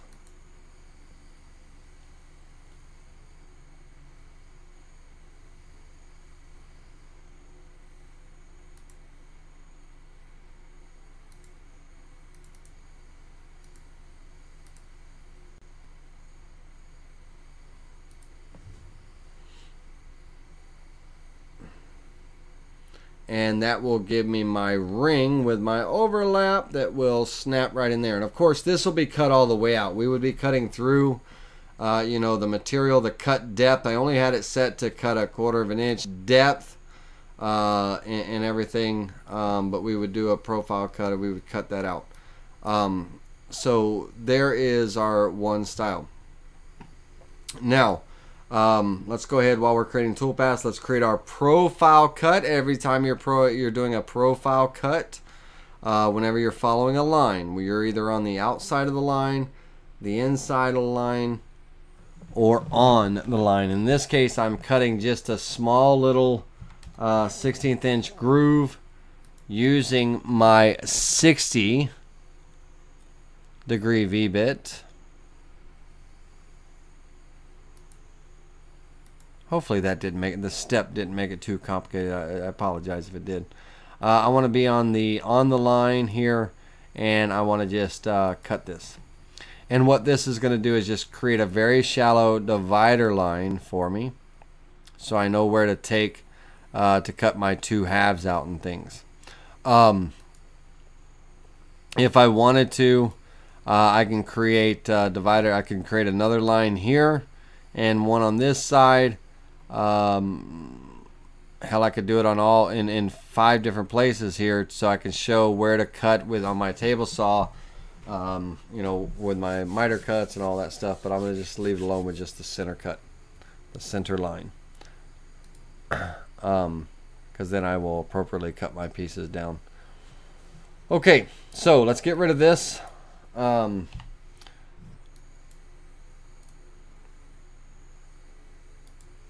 earlier you saw me create a uh, layer called male inlay and you're probably wondering why are you doing it again um, because I undid my actions uh, earlier and um, which removed the, everything that I did when I created that inlay. So I'm making a copy of this to the male inlay. I'll use that uh, later when I'm creating that male cut, but this is going to be the front of my box.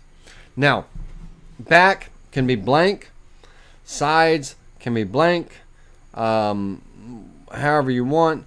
But right now, uh, we spent a lot of time on this. Uh, I do not want to spend uh, any more hour on the back and all that. I want to start creating the top.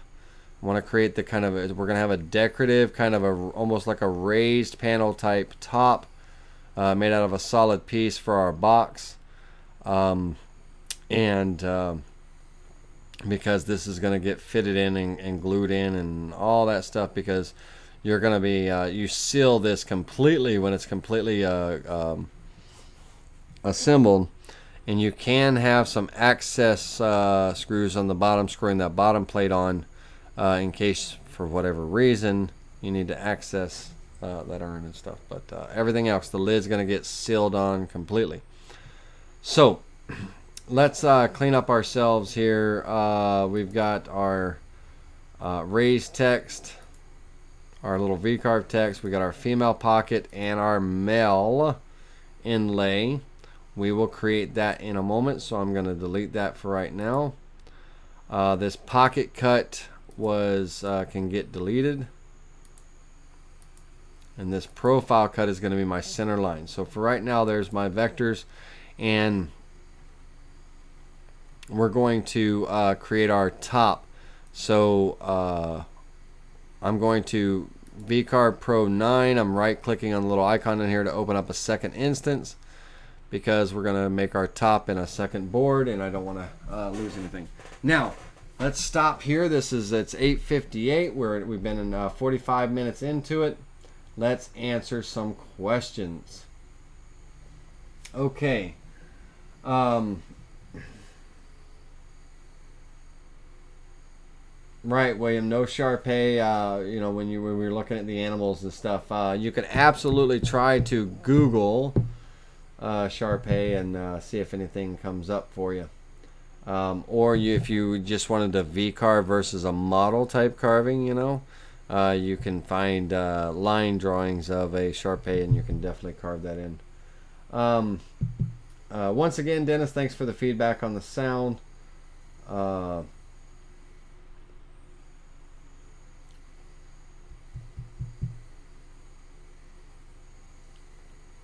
You'll have to, Dennis. You'll have to explain to me uh, the part about I can finally get new car. Oh, the oh about the lost pet. Probably I can finally get new carpet. Um,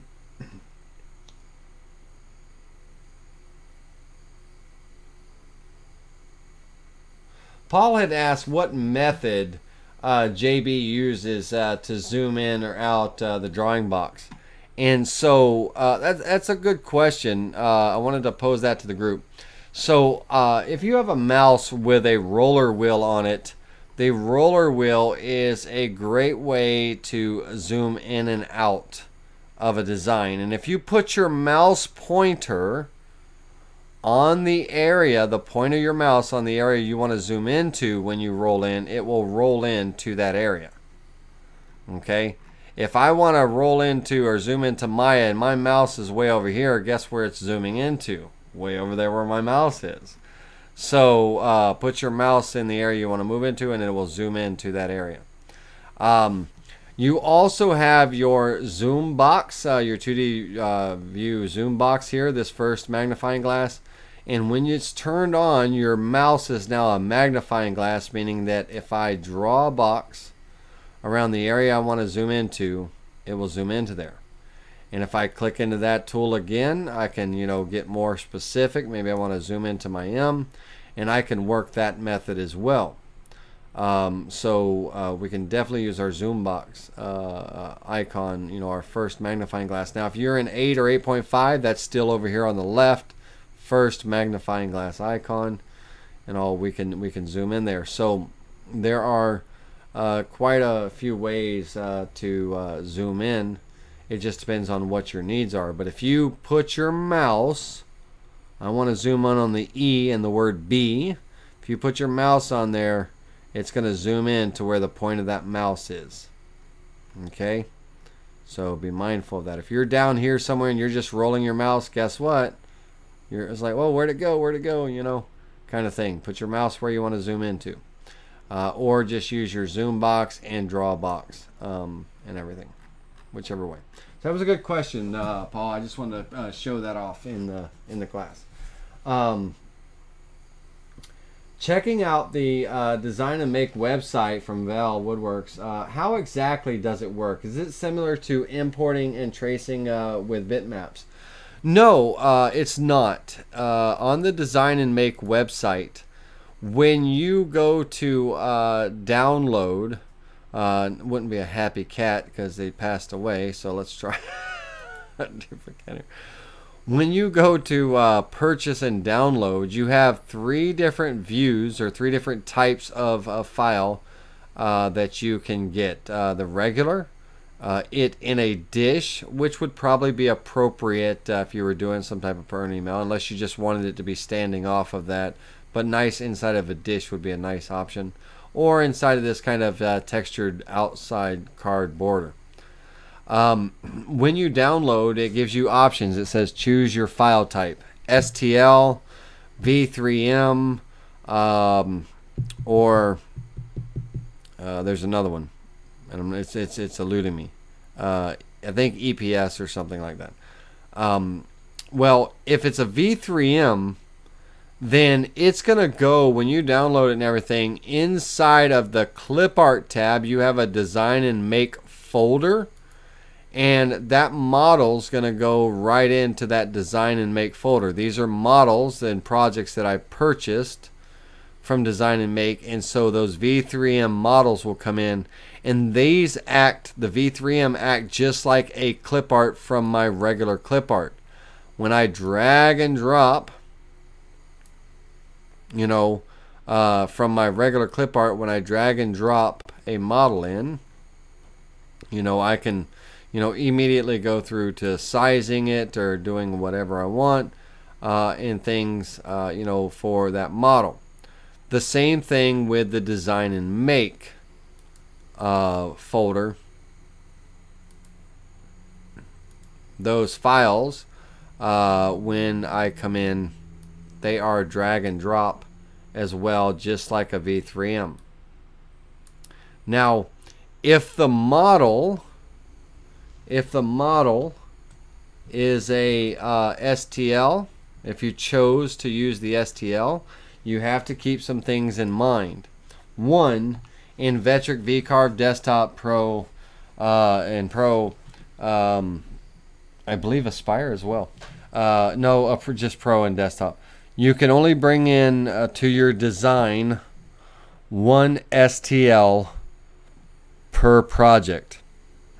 So if I was trying to build a design uh, or a project null With the V3M model file, I can bring in as many files as I want in Pro or uh, desktop.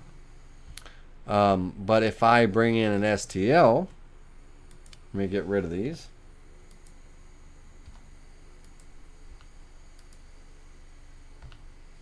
That might be a good model for the back little rows or something. Uh, if I brought in an STL and imported that STL model that I purchased uh, from Design and Make, uh, let's see here if I uh, I know I have STLs. Let me just go to where they are.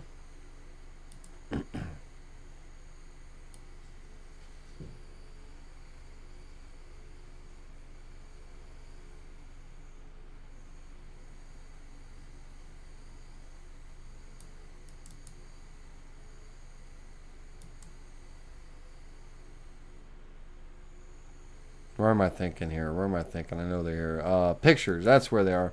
Uh, took me a second. Pictures. Uh, CNC camera roll. DXF. Aspire Designs. No. Hold on now. Colored clip art, clip art, black and white. STL models. There we go. All right. So on my STL models, let's grab one that's a little bit uh, um, rings. Uh, we'll bring that in and click open. Now, when I bring that in, it, it goes in and says, okay, here's a new window. Orientate your model. Uh, your model might come in, you know, sideways. It could come in left. It could come in bottom and upside down. Well, you got to orientate it. I want mine to the top view, uh, the way it's orientated here. Now I need to size it appropriately. Uh, so I have to, you know, let's say I want to come in two inches and click apply and size it. And I want to center my model and bring it in. Make sure I want to bring it down. I want that model right on the top of that block above the zero plane line. So if I go into a Y view you see this black line underneath this STL model. That is my zero plane. And I want the model above the zero plane. And so I would import that in and now I have my you know my 3D model of my uh, overlapping rings.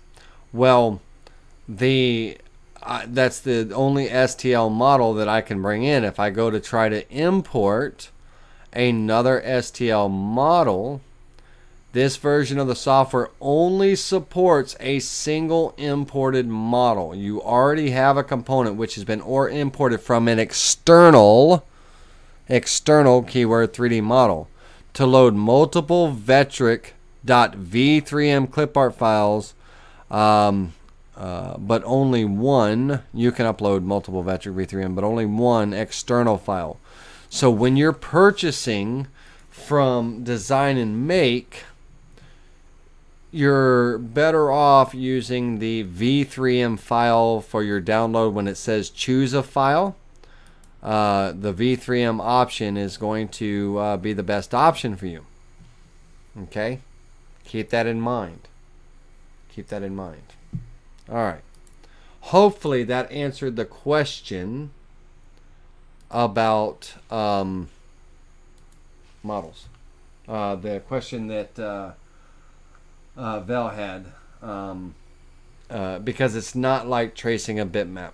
It's not like tracing a bitmap. You uh, import the model and it's ready to go. Or if it's an STL, you've got to orientate it, size it, and uh, you know uh, position it.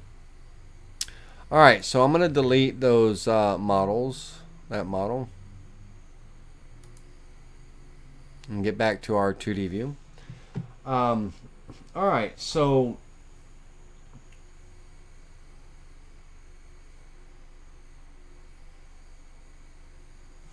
Do you, Peter Hearn uh, earlier asked a question, do you like or use the vector validator?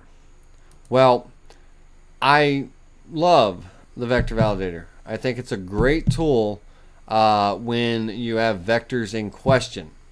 Uh, typically for me, when I have a vector in question, it's when I import a DXF file. And so if I go back to my pictures, and my uh, camera roll and my DXF files. Uh, bum, bum, bum. We'll give it, we'll grab this one here. When I import a DXF file, especially one uh, similar, bear with me a second.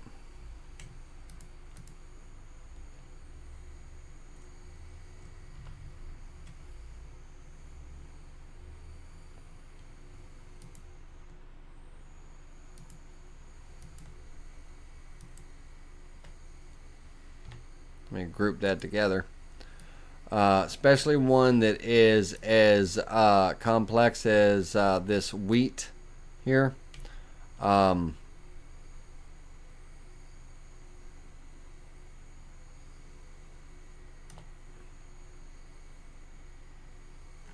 okay. I want to be absolutely sure that that vector, that there's no complications with it, right? And the vector validator tool under your edit objects uh, checks for potential issues with your vectors. So if I open this up and say, hey, let's uh, search the selected vectors, this one is chock full of issues, okay? 183 zero length spans. Zero length spans are uh, nodes that have no uh, line in between them. They're just right on top of each other. And you will get that uh, icon with the square with a little zero on it. You see all these zeros on my screen. That's all of them, right? So I have a button here that I can fix those zero length spans. I can get rid of them, clean it up. Now that cleaned it up. Now I have 12 overlaps and 27 intersections. And that's going to be here where my lines overlap and intersect on this wheat here. And so I need to clean those up. And I have some down here uh, as well. Um, you know, and this is a piece of trash. This rectangle right here, that's a speckle uh, pixel piece of trash. And, uh, you know, it needs to be cleaned up. The little plus sign is intersections. And those intersections on this wheat here is basically if I close this tool um, and I ungroup this, uh, the intersections are where the two ends come together uh, for this. If I go into uh, node editing and uh, go into my node editing,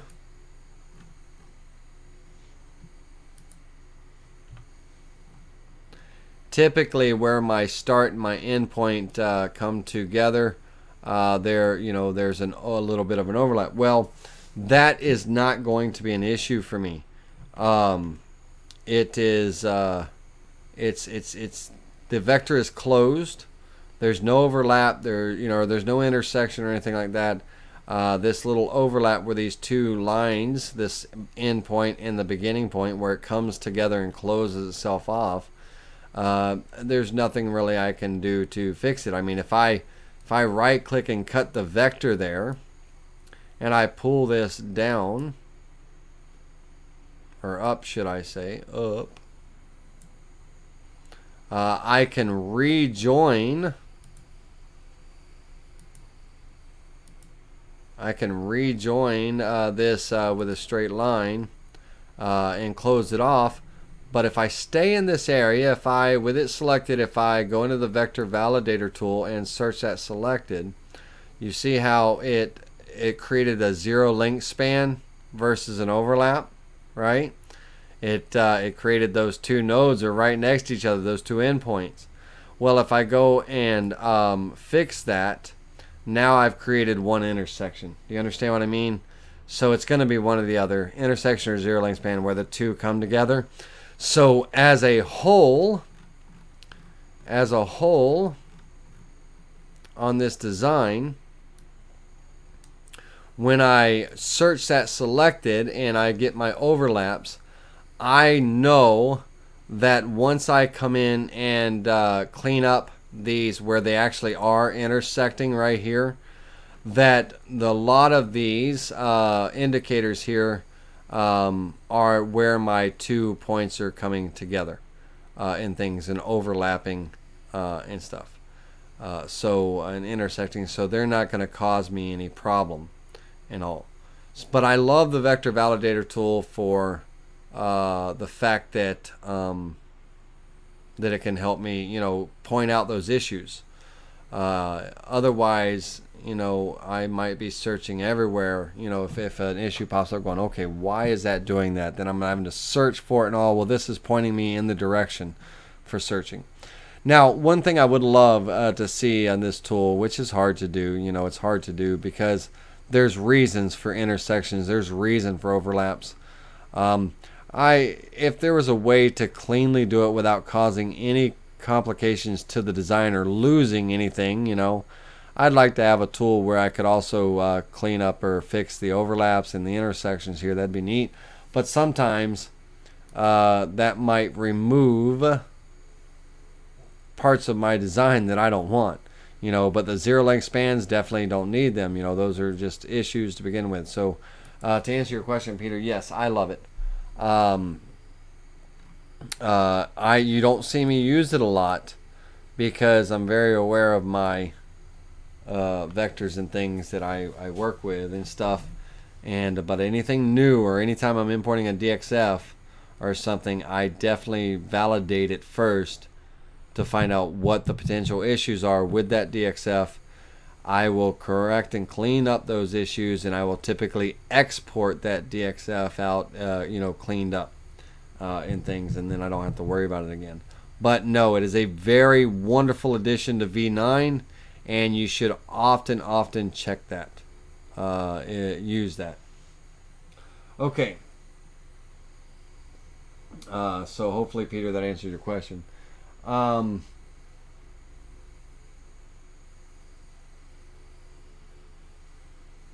let's see here. How do you zoom in and out to a specific area in 3D as you review the toolpath cut? Well, that's a great question. Um, when you're in a 3D view, when we're in our uh, preview mode and things, um, to uh, this, it's similar to when you're in 2D mode. How do you zoom into a certain selection? If we put our mouse over and we start to zoom in, notice that it doesn't it doesn't go to that area. It's it's that's the one difference that it's uh, you know it's it has nothing to do whether your where your mouse is you know where it's zooming into it's just zooming in it's taking this image as a whatever's kind of front and center. And when I zoom in, it's just zooming in right to that point, you know.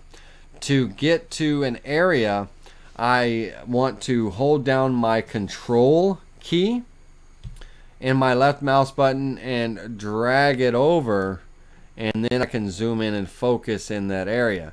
And if I need to see down below, hold down my control key and my left mouse button key and, key and drag up and now I can zoom in further to that area.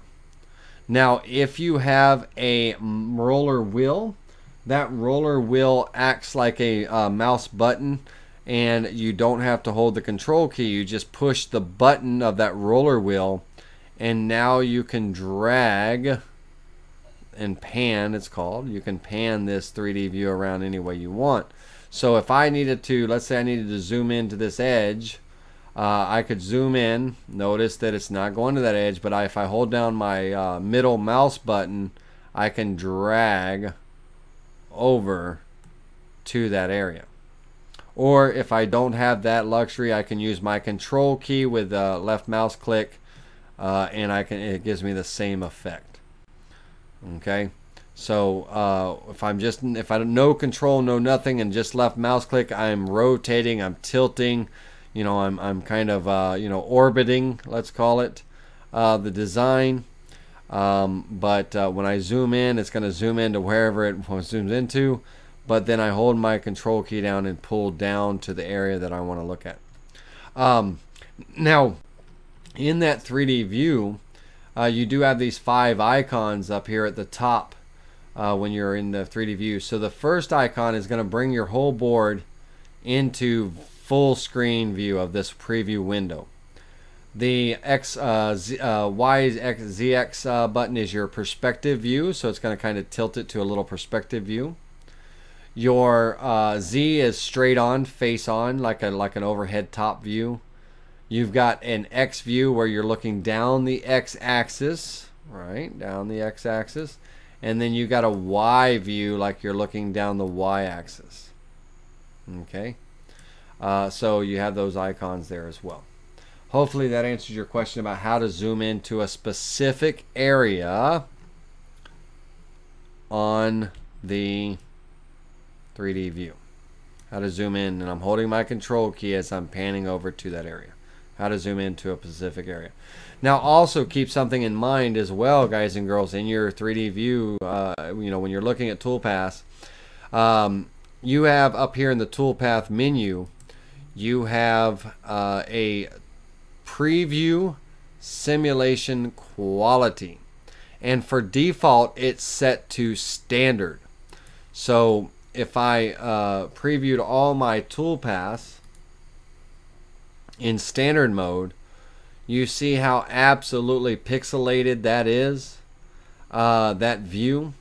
Well, I'm in standard view. I'm working with less than a million pixels uh, to, uh, you know, do, to generate this preview image. I want a view that gives me about a 98% representation of what my cut's going to look like. So if you are uh, in your preview simulation quality under the toolpath menu, if you're in a uh, very high, extremely high, or maximum, you know, I usually typically default to the extremely high. I'm in. I've got a uh, a, a very clean representation uh, of um, what my project's going to look like, the edges and everything. So you see how much cleaner and clearer that is, um, you know, at a very high. Now, what the what the numbers is of two times slower, four times slower, eight times slower, and 25 times slower when it's actually generating generating this 3D view uh, it's going to be when you're in a very high mode it's more pixels more points so it's going to be four times slower to generate than if I was in a standard view. My extremely high is eight times slower to generate this image than if I was in my standard view and then of course 25 times slower but looking at even the very high if I go to the extremely high view and I preview uh, this image at a uh, very high view uh, and preview all the toolpaths, it's going to take much, much longer. You can see, uh, I mean, just count down the seconds, much, much longer to preview this generate, to generate this preview image than it would if I was in a standard or a high view or something. But I keep it, typically keep mine defaulted in the uh, maximum height view. Um, and we got, uh, that should be the final one. And now if I zoom in and control key, left mouse click and pull over, let it uh, clean itself up. And all we get, we're going to get a much cleaner image. Uh, you know, we're at a 25 times higher view. So we're going to get a much cleaner image and things. Um, so your toolpath preview simulation quality, be sure to uh, you know set that appropriate for what you want. Okay. All right, but that's how you pan and click and and move in and zoom into certain areas when you're in the toolpath view. All right, so let's um, go on to the next question. Um,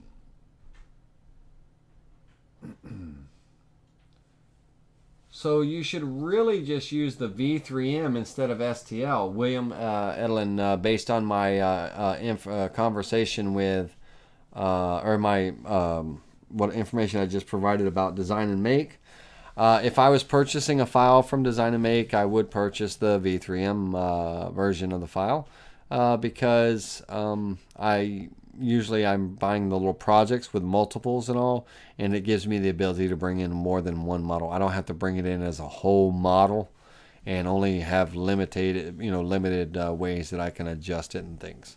So yeah, uh, uh, you do not, I, I, don't say exclusively use the V3M. There are purposes for using STLs.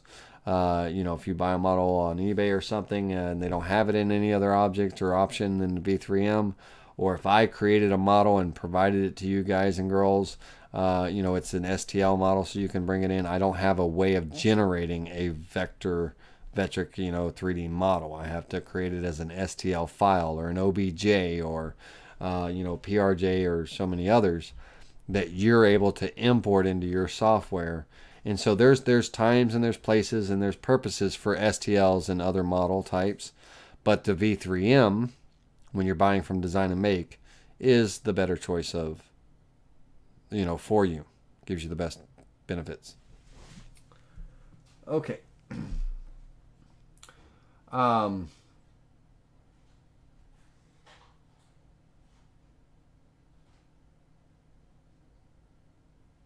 do you recommend updating the TNG software to the latest version? Well, Debbie, uh, yeah, I, I, I, honestly do. Uh, if you have the um, MK34 board, um, the uh, update is a uh, it's an update to the CNC USB controller. And in that, they have uh, fixed a lot of things. Uh, a little, a lot of bug fixes. They have created a lot of wonderful uh, new uh, tools and stuff. Um, a lot of new, you know, abilities to create your own controls and things when you know how to create the code uh, and don't mess up creating those buttons. But um, the algorithms in the software uh, have made the machines run much smoother. Uh, the motors and things they run much smoother now during the operation. Uh, also, the um, when Windows updates, you no longer have to go back and reset your driver settings and all that stuff. All those bugs and everything have been you know taken out of the equation and all. So if uh, for me, uh, is it required? No, absolutely not. Stick with what you want to use. Uh, do I recommend it? Yes. If you have the MK3 board and the ability to upgrade to the TNG, I highly recommend it. Um, if you have the MK2 board, uh, do I recommend it? Well, that I I always recommend keeping your equipment up to date uh, and things like that. Um, again, not required, absolutely not. Uh, but in order to update to the TNG, you have to update your board to the MK3 4 board uh, your MK2 you have to update, and that's a $275 upgrade kit. So um, uh, it kind of comes down to uh, that's I can't tell you uh, you know to go out there and spend $275. I'm not you know it's your money. You know you you you have to make that decision yourself. Um, but uh, if you have the ability to uh, upgrade, then definitely do because there's a lot of benefits to it, and it's a really nice running program and stuff, and all. Um, okay. Uh, why is this project double-sided? Well, uh, this project is double-sided because other than doing a miter cut, we could be doing, um, we could be doing uh, joinery and things, and uh, having the ability to, to jump over to the other side and draw in the joints and stuff. Uh, you know, um, that's why it's double sided. So it's a box, and the box has two sides. Uh, you know, to each side, front and back, and two sides, but it has an inside and outside. Uh, and so uh, for joinery and things, if I'm doing dados and grooves, now. Uh, I had mentioned that if you didn't have a table saw or a way to do miter cuts and all, that there would be a way that you could do miter cuts on the, uh, you know, create or simulate a miter cut uh, in the software. And so let me show you that. Um, we'll show you that here in a moment. Uh, let's see here. Let's make sure. Okay, so that, that that was all the questions uh, that I that I had. So let's get back to the design, and uh, um, uh, Kim uh, posed the question: Why is this a two-sided design? Why? Why? What was the what would the purpose be? Um, well, the purpose uh, is, uh, you know, joinery. You know, how are we going to assemble this box together, these four sides? Now, we're only drawing the front and back right here. We still got to, you know, we would still have to create our two sides, which are basically going to be square unless there's some kind of decorative design that you're wrapping all the way around. Um, we've got our top to create as well. That's why I opened up a second instance of the Vectric so we can start drawing the top. So I show you how to create those vectors. using the molding tool. We're going to have a nice decorative molding around this, uh, you know, this piece. But why is it two-sided? Well, what if I did want this to be a mitered box? And uh, I don't have I don't have a table saw to do a miter cut in, or I don't have a jigsaw uh, to tilt my blade 45 degrees, or I don't have a bandsaw to tilt my blade 45 degrees to cut these miters. Uh, the only way I'm able to cut these miters is with my, you know, uh, my CNC. It's all I've got. So that's the simulation. That's the that's what we would be. That's kind of the area we'd be working with. Why you know why would we want to do those miter cuts or how not why how would we do those uh, those cuts? Well, uh, on my uh, piece and things uh, from here, um, I need to go ahead and let's uh, create our uh, cuts for our rectangle. So let's draw that out and. Um, while that's uh, there, uh, this is the, by the way, let's before, let me explain what I'm doing here first. I'm on the front side still. I'm going to draw, I'm using these uh, vectors to snap to. Uh, we could actually do it on the back side because you can actually snap to those vectors as well. Uh, but I'm drawing a rectangle to uh, highlight the area where I'm going to be creating my miter cut. And so we have, this is one piece.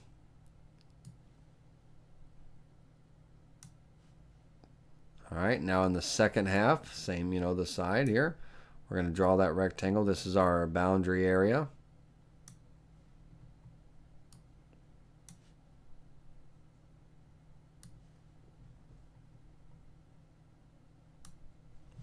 Now, we're doing joinery and everything, and if I go and leave these vectors at the length they are now, then my router bit's going to stop at that pocket, right? It's going to give me, uh, you know, rounded edges and whatever the case may be. So on these four items that I just drew, I want to hold down my shift key and grab this middle box here and I want to expand them beyond the box. I want my bit to be able to travel beyond the box and things. Now, uh, as I'm drawing this out to create a kind of like a fluting toolpath and all, Dennis uh, asked earlier, said, hey, uh, question mark, 90 degree V-bit to create the miter. Can we do that? You know, that kind of thing. Absolutely you could, you know. Um, the uh, then you wouldn't draw the rectangle like I'm drawing. You would draw a line down the center line. Um, now that you have to understand there's there's an offset to it. Okay, uh, that V bit, that 90 degree half inch head V bit, I'm cutting three quarters of an inch deep. And so uh, the blade angles on that, that 90 degrees, should be 45 and 45. Uh, if not, get a 45 degree V-bit. Um, but uh, it's got a cut depth of about, uh, cutting head about 0.2 inches. And you have to remember that when it cuts, that it's offsetting, right? That that length of cut, that half of an inch. If I look at the span of this and I take a measurement on this span of this miter, let's do a, a horizontal measurement here. You know, it's three quarters of an inch. I have a half inch V-bit. So let's take a let's let's draw this out in a simulation here. Uh, let's uh, say that this is the side view of my board. And I have a miter cut that I've got to uh, cut into it. And then I have my V-bit. Let me draw out my 45 and 45, 9 degree V-bit and this V-bit has a half inch head so let me make sure that my size is correct on this. Uh, I'm going to measure horizontally from this point to this point and that's 0.1873 uh, we need to go wider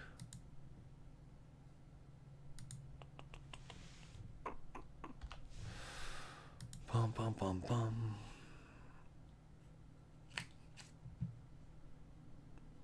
I'm going to cheat and use my extend tool. And I'm going to use the extend tool to extend this to here, this to here. And let's take a measurement again. See how close I am.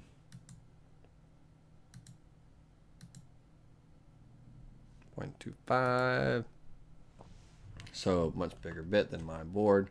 Let's actually draw it to scale because else it's gonna you're gonna be like, well, hell, I can do that in one cut.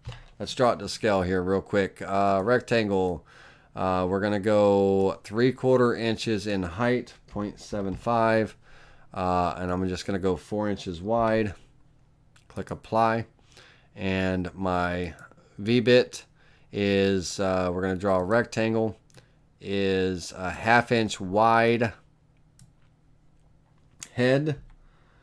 And the cutting depth on the 90 degree V-bit stand by real quick uh, so I can look at the cutting height of the 90 degree V-bit um, bum, bum, bum, almost there.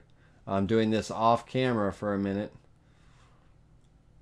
video shop router bits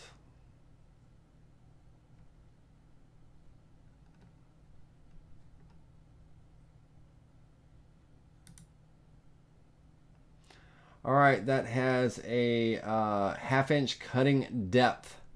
Half inch cutting, uh, that's a cutting diameter, sorry, half inch cutting diameter. A quarter inch point length.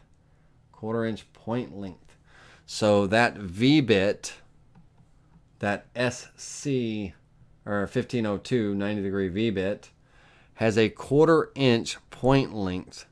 Um, if I come up and use, I'm going to snap a line here and move up relative to its position, not size, move up relative to its position, a positive 0.25, create guide. And I can uh, delete this guide, I don't need it anymore.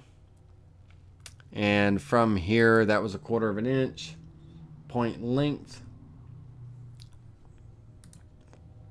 if I come in and uh, make sure my rectangle is still half inch wide, blah, blah, blah,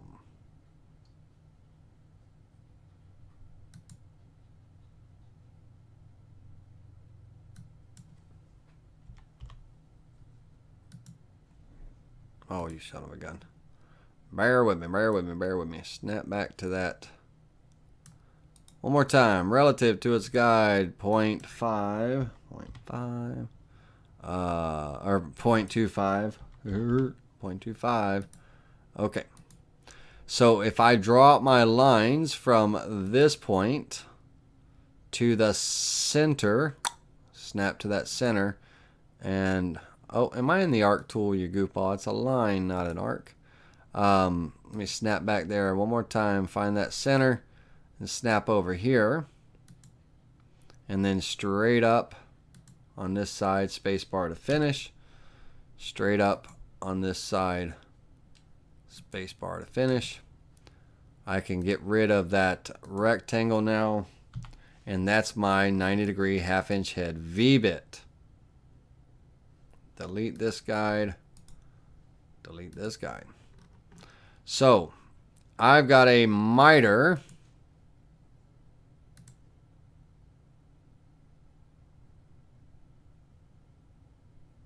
Get my 45 degree there. That I've got to cut. And let's kind of get in and focus on this. Oh let's add this one to the mix add uh, join those two vectors into one so that way I can come in and move so now when this bit is cutting on this line right uh, it's going to come over to the side of that bit and it's going to come and it's going to cut down to that cut depth. Then on that 90 degree V bit, uh, uh, you know, it's cutting to that cut depth. Well, if I cut deeper than that, guess what happens? I get a straight groove on my miter cut, right? You know, we don't want that. So I have to create a second or a dividing line so that from this point here, my bit will step down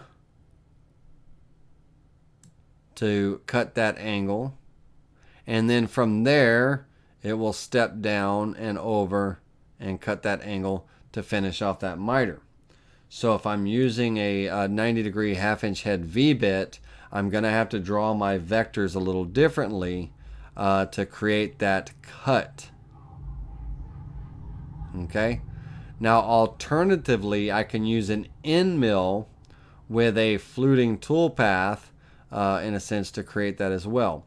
Um, so uh, you just have to, if I was looking, if I was looking to cut this here uh, with my V-bit, there would be three lines of cutting, whatever that step over is, that distance from here to here, and then from here to here and from here to here. You know, I'd have to, you know, those three different uh, step overs to create those three different lines for this cutter to follow on the line where the center of the bit is cutting on that line. Well, I'm using a rectangle uh, and hopefully, uh, Dennis, hopefully that uh, illustrated and simulated where you understand what I'm referring to. Uh, when you asked the question about using a 90 degree V-bit, we just have to draw our vectors separately. So this bit uh, can cut in those uh, three different points or areas. Um, you know, and from here to here and from here to here to you know cut that that miter. Now I'm using a pocketing toolpath uh, to uh, create this miter and my bit I'm going to use an end mill uh, regular end mill uh, to this and um, you know it's going to be using a fluting uh, type uh, you know cut in a sense now we could absolutely um, you know, we could absolutely try to do a profile cut where we're following the line. Uh, and, you know, we got a bunch of lines we could create real close together at different depths and all and things. Uh, but we do have the option of uh, doing a uh, fluting toolpath. And uh, on this here, um, we can basically, uh, I should be able to, and let's see how wrong or right I am. I should be able to go 0.75 uh, with my uh, quarter inch end mill.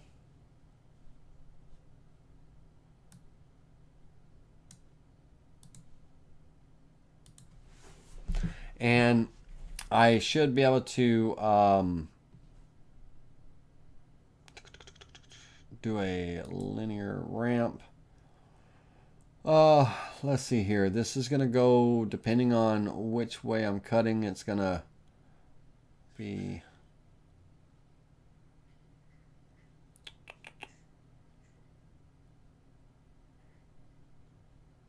Why is that tool showing a picture of Hubby? Bear with me a second here. All right, just making sure. Um,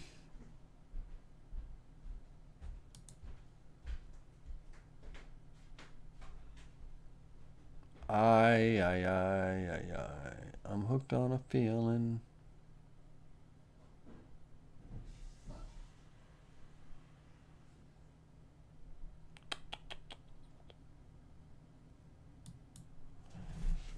Bear with me.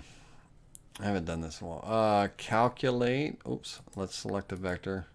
I got. I got. I always got to see what a what a cut looks like. All right. So that's ramping the wrong direction. We don't want that. We want it to ramp the other direction. So what I need to do is uh, close that, reopen that back up, and I've got to create a series of lines. So bear with me a second. Let me do that. I'm going to get rid of this. I'm going to create my line from here to here.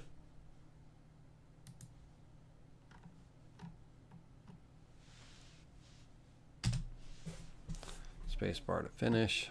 Oops. Make sure that line is, uh, you know, where it needs to be. You go into node editing and back that bad boy up a little bit. There we go. All right. So now on this line, I'm going to create a row, uh, uh, quarter inch spacing apart and um, no columns.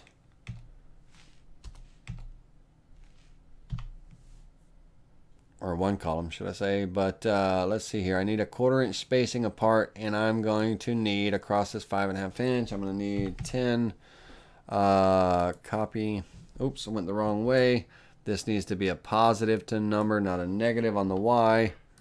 Uh, copy 10 is not going to do it. Um, bum, bum, bum, Let's undo that. Let's go 15, uh, 25. Copy. That's good. All right, I can get rid of these two. Now, I either want my bit to go down, come back up, down, come back up, come down, come back up. Right now, my bit would come down or up basically. I need to change the start, uh, you know, points. The start points are starting at the bottom of the cut and working its way up. I want to start at the top of my cut and work my way down, but I want to alternate. So every other one of these, I'm going to right click or going to node editing, not right click, but I want to uh, make that my start point. I want to reverse the direction. I want to alter, alternate should I say, not alter, alternate um, these uh, two points.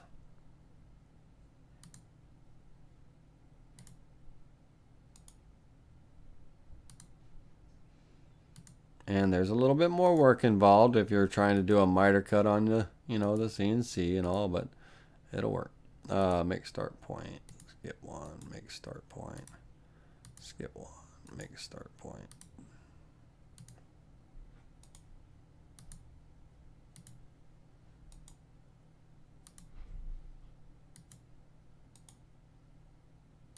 Okay, now if we look at all of these, I should, with them all selected,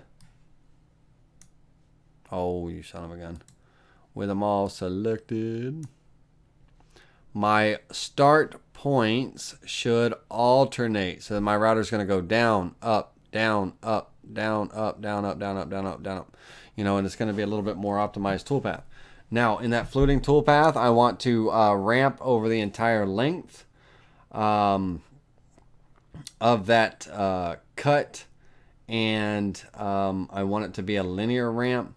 Now, the ramp angle, right? Uh, at this point, if I were doing this now, could I use my V-bit and ramp, you know, at that angle to where that bit, that, oh, oh I lost my simulation. Um, I lost my little vectors and all where that bit was coming down and ramping at that angle, you know? Uh, we'll find out.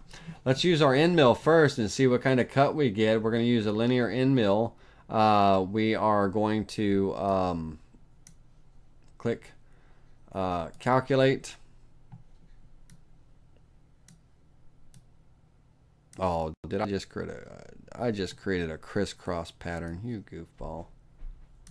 Let's preview this. That, that's wrong.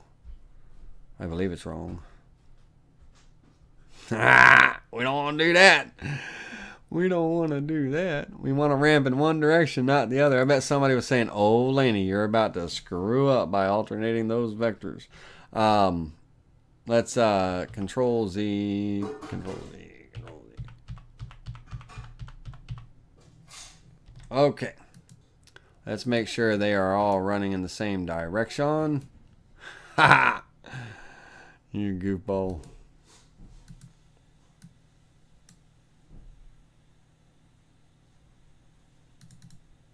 All right. And, oh gosh, I really want to alternate them. Be mindful of how you draw your lines. Um, but anyway, that's fine. So we're going to uh, close. I do want to start at the bottom and ramp down. So let's, with my one, I'm going to go into node editing mode and I'm going to change that start direction to this end here. Make the uh, start point. Now I'm going to go into my linear array. Copy. Get rid of these two on the end here. Uh, if I go into my toolpath, um, all my start points should be there. Wonderful. Ramp over the entire length. Uh, I wish it gave me a ramp angle, um, but it doesn't. Ramp percentage and ramp length. Uh, but I think it ramps at a 45. I'm not sure. Let's find out. Let's reset that preview and preview that selected toolpath.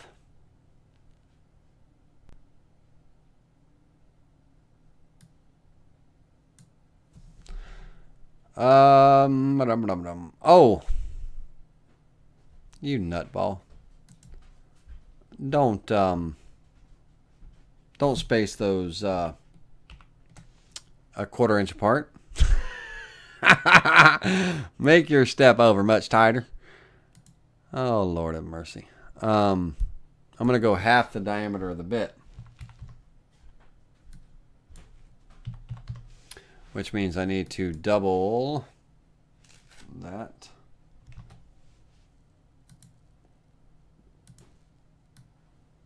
We'll get her here in a moment. We'll get her here in a moment. And one more time, calculate. Reset the preview. Preview the selected toolpath.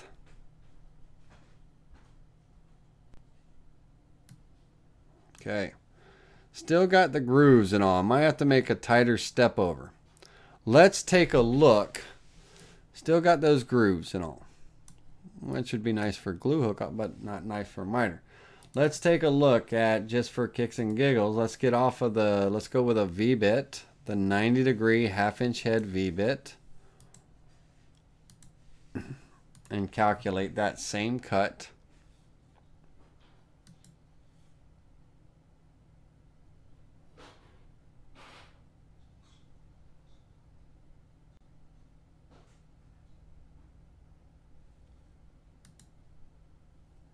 Somebody forgot to reset his preview.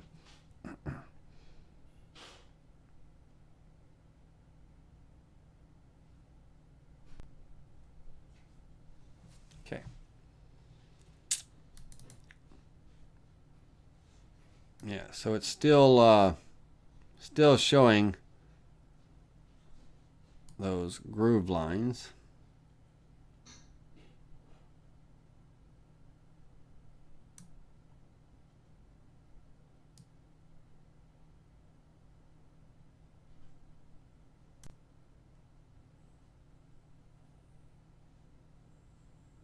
Hmm. Hmm, hmm, hmm. I know somebody's but we're still working on the face of this. We flipped the board. We flipped the board over. We're, we're, we're talking about the miters, Paul, for a minute. We're, we're on the back side of the board uh, talking about the joinery. All right. So I need a flat cut. Why does that show rounded? That's what throws me off here.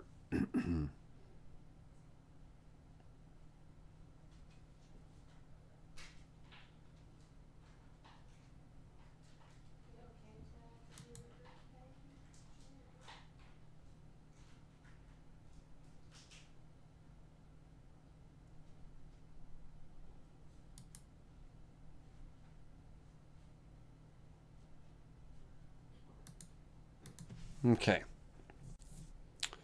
Let me see something here.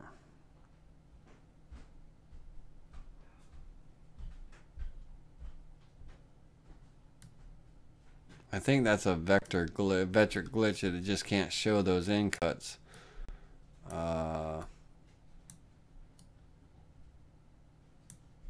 or it means that uh,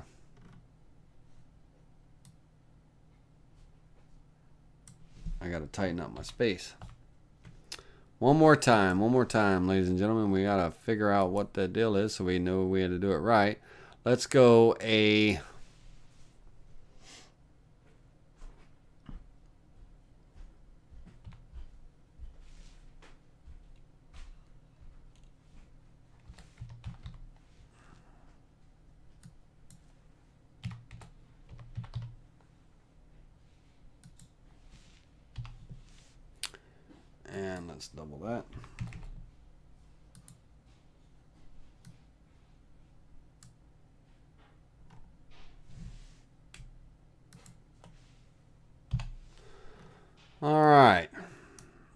100 cuts. Why would we want to do that? I don't know, but let's... I'm curious now.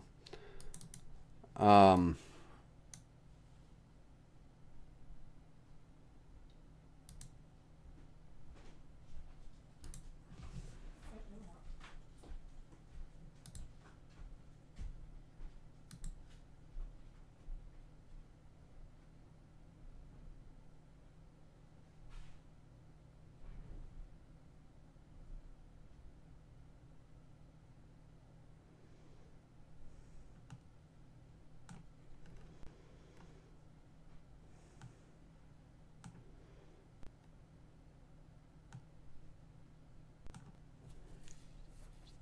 So you'll get that miter cut, but I don't know what these grooves are. Um, but we had to do, I mean, that's a hundred passes. That's a hundred lines up and down, up and down, up and down, up and down. When in fact we should only, it's a half inch head, right? It's a half inch diameter head. We should in fact be able to space this, even if we went a quarter of an inch apart, uh, you know, we should be able to uh, space this. Um, I'm going to go 0.375. I'm not going to go the full half inch.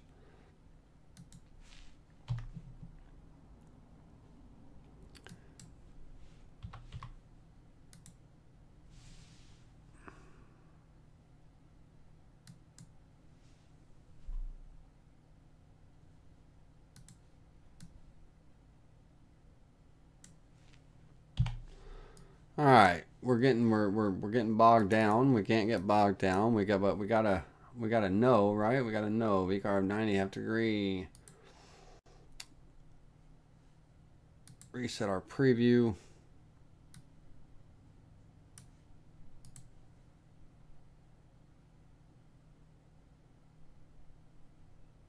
Yeah, see, our router something is hitting uh, when it's coming, it's not really doing exactly what it's supposed to be doing.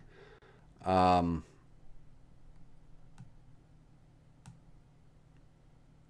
either that or it's not simulating properly, uh, but I don't believe that would be the case. I think my shank, let's see here.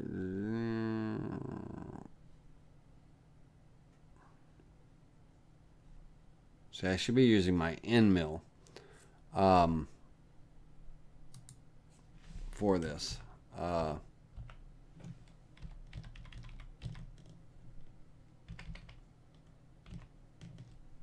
shouldn't be it shouldn't be a V bit. It should be an end mill. But let me think on that one, guys, and let me face that, post that in the Facebook group, and just kind of see what we do. I got to do some simulating cutting for JB tonight uh, with the laser. I will run a fluting toolpath with both an end mill and a V-bit and I'll post the pictures. I'll post the pictures on Facebook and see what we uh, see what we see see what we come up with. Because um, yeah. That uh, did not simulate right at all. All right but alternatively uh, you know we could miter cut at a table saw a bandsaw scroll skill saw uh, scroll saw, uh, jigsaw. You know, you have a lot of different options out there, um, and all. But this is a two-sided part, uh, Kimberly, because uh, if we wanted to simulate joinery, I could flip it over and simulate it. But that simulation didn't work very well. Uh, but that's why I've got it set up as a two-sided part. You would set it up as either a single or a two-sided part if Single-sided part if you're only carving the front half of things. Uh, double-sided part if you're putting your joinery in, your rabbet joints and things like that, like we did with the uh, um, the uh, Celtic picture frame and stuff. Okay, so let's see here. That posed a lot of questions. Does Whiteside manufacture the 1 16th inch end mill? Yes, Ron, they do. Um, that uh, end mill, um, no, I'm sorry, they don't. Uh, the 16th inch end mill is an Amana tool. It's an Amana tool. Um, but they, you know, there's there's other companies out there that, you know, that make 16th inch end mills. Um, the Amana tool 16th inch end mill you can get as a plain end mill or a ZRN coated. And um, if any of you are um, curious, that uh, 16th inch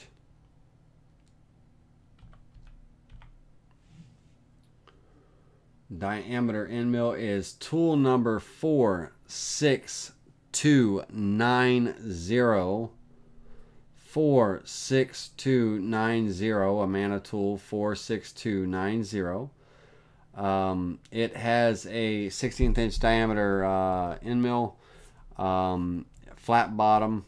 It's got a 5 16 uh, cutting depth with a quarter inch shank. Overall length is 2 inches long quarter inch diameter shank. It is ZRN coded, so you can code in multiple uh, things, uh, multiple um, uh, materials, should I say.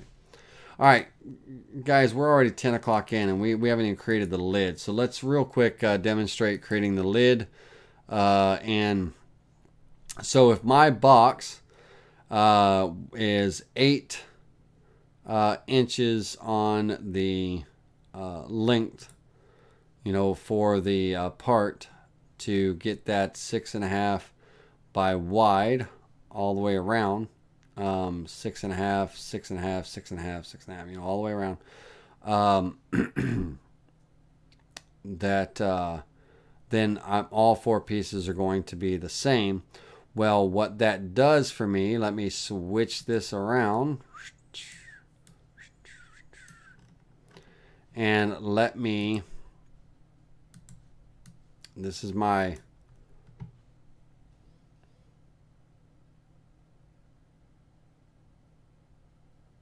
mitered piece here, G for component. And let me hold down my uh, move tool, M for move.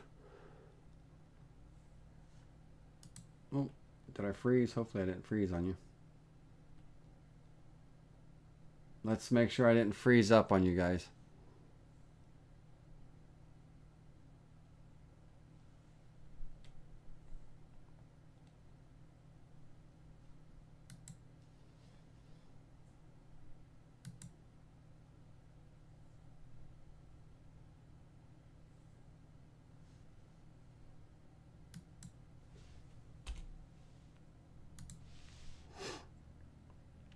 Okay, M for move and hold down my control key.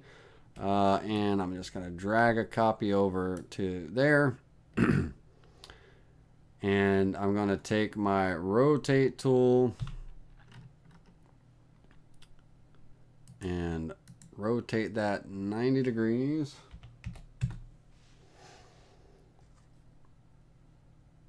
And if I take my move tool and let me get rid of these uh, guidelines real quick because they're just driving me nuts. Uh, delete. Delete. And let's pose this where y'all can see a little bit of a perspective. Um, all right, so let's take and move this control key and snap to that end and flip it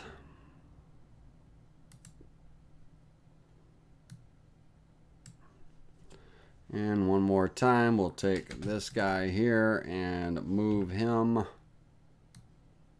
Make a, hold our control key, snap and flip him.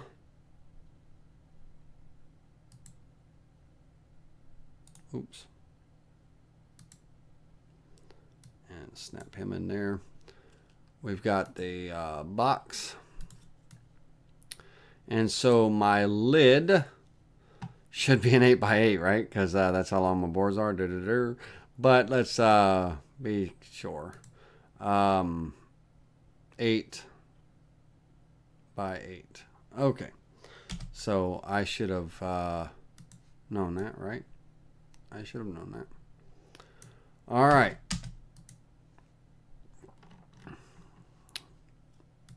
Let's get back to our um, project. Okay, back to our vector. So we want a lid uh, 8. Now, am I going to be clamping and cutting this out? I'm going to go a little bit bigger. I'm going to go uh, 9 by 9. Not 99. 9 by 9.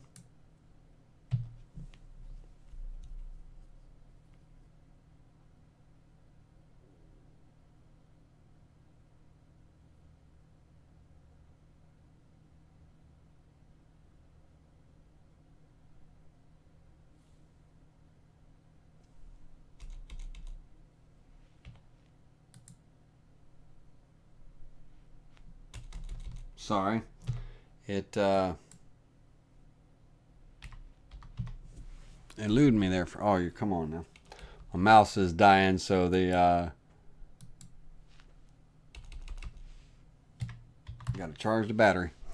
All right, so once again, uh, this is going to be just a one-sided part. Uh, so we'll set it up as a single-sided project.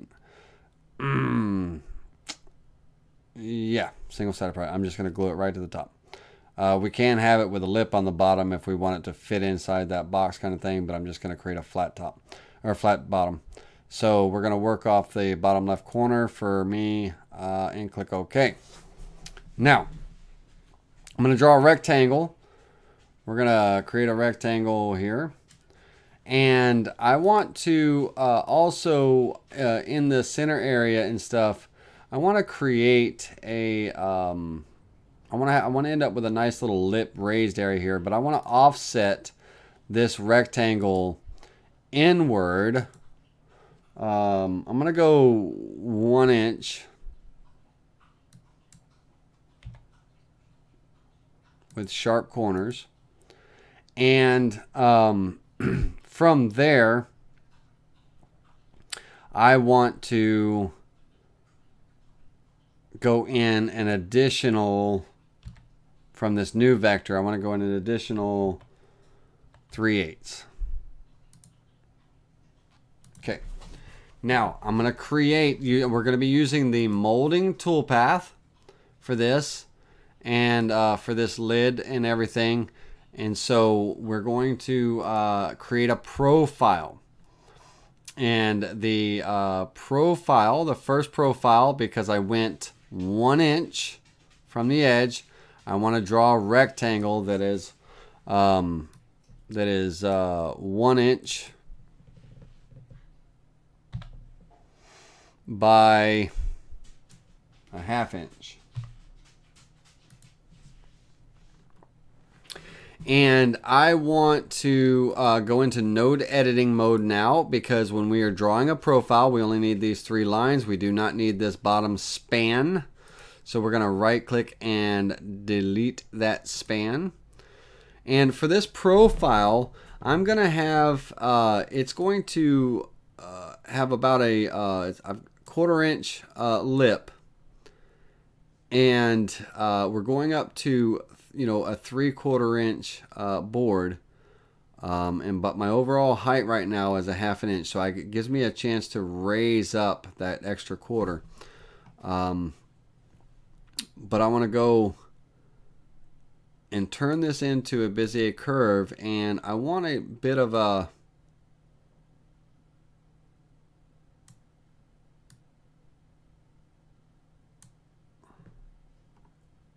just a small subtle ramp. And I want a bead, if I'm coming off the top of my piece and I'm coming down to my profile, I want a bead right about here. Ooh, not that big. Um, let's go right about here and draw it, not click.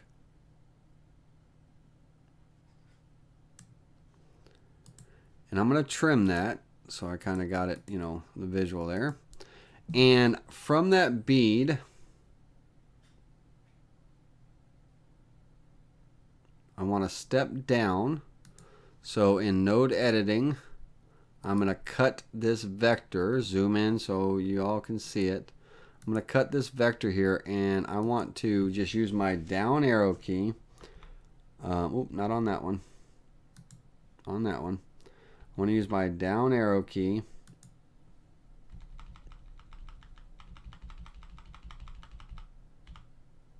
Bring that down. And I'm going to use my left arrow key and kind of bring it over. And from here, a, CNC can't really do an undercut. You see that undercut right there? So I want to take this node and it's in line with this. So I want to turn this into a line and I want to pull that node in alignment with this one by hitting the uh, selecting this one first and this one second and hitting the letter X on my keyboard okay uh, to create my bead. And then I want to arc a very small amount from here to here. Very small. I want to make sure I'm not creating an undercut of any sort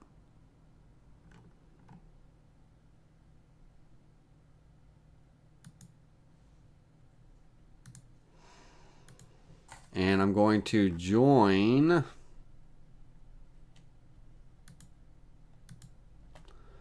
join these three vectors together into one.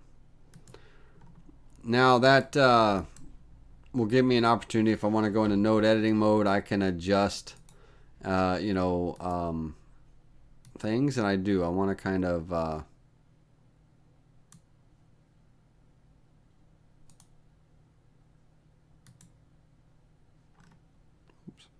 I deleted that I want to kind of create a very subtle curve here. All right. So now from this, this is going to go uh, from the bottom of the piece. It's going to go a quarter of an inch. It's going to come up and uh, this from here, this node, it's going to end up at the top of my three quarter inch piece. So I want to draw a three quarter inch line.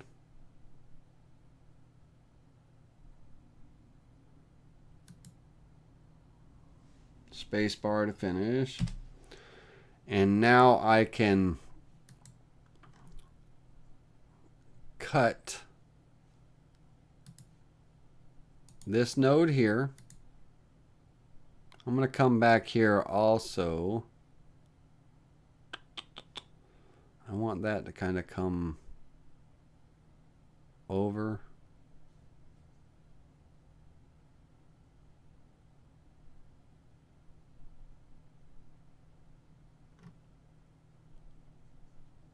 Now, I'm going to undo that. I want to come I want that right there. I want that right there just like that. That's what I want my profile to look like. All right. So let's uh, get rid of, let's see if we've got any duplicates. We do. Let's get rid of uh, it.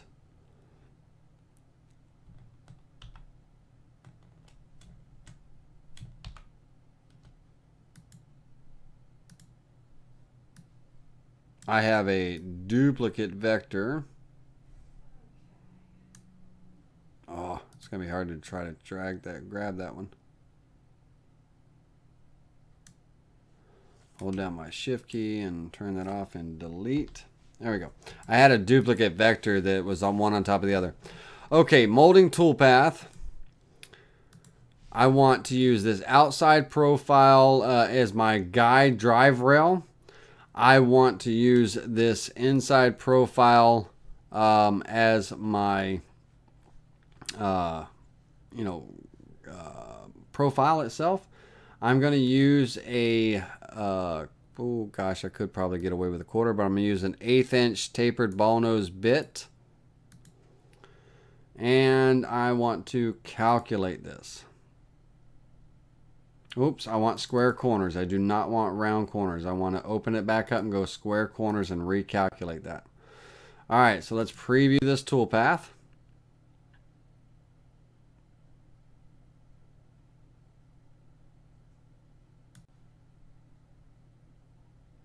Okay.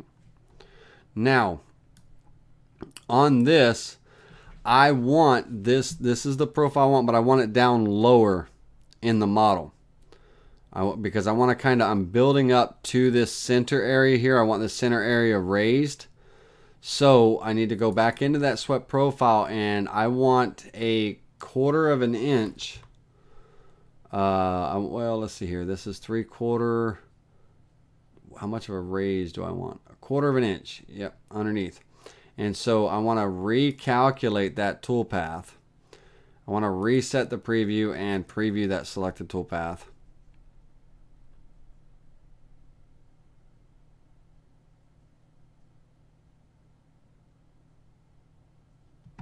Okay. And um, that's going to create the uh, first layer of my lid. I could actually go a little bit lower. Uh, it depends on what I want this center to look like. So on this center uh, part here, I want to go with a 3 8 inch rectangle.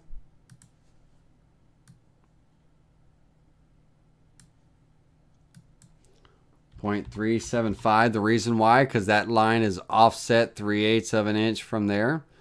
Um, I believe it was 3 eighths, right? 3 eighths, yep.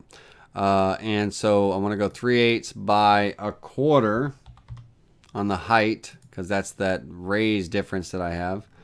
And on this, I want just a very uh, subtle, uh, I want to delete that span and on this, I literally want to delete this point. point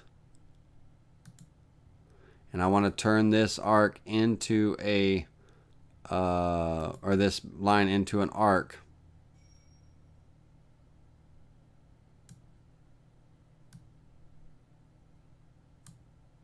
And I want a very subtle curve up to that point. So now I go in and create another swept model. This time I'm using this profile uh, for the drive rail, followed by this profile. And again, uh, my eighth inch ball nose bit should fit in there. And I do want to be at the top this time, and I should be able to calculate this. Oops, I want square corners. Square corners. Calculate that. And I should be able to preview the selected toolpath here.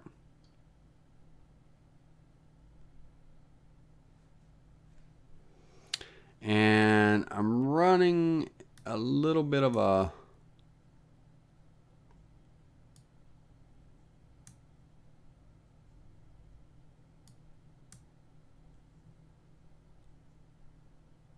Make sure that did check off square corners. Yeah.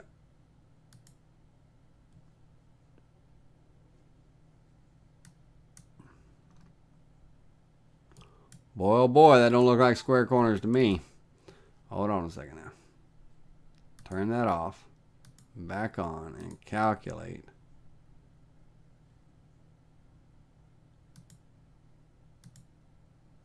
All right.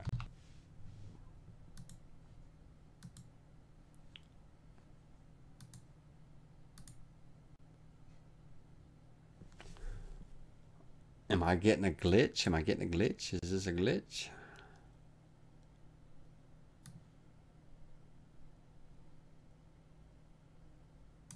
Hold on a second now, guys and girls. Um, maybe it is square corners. It's just showing as rounded. Uh, it should be square. They should be square.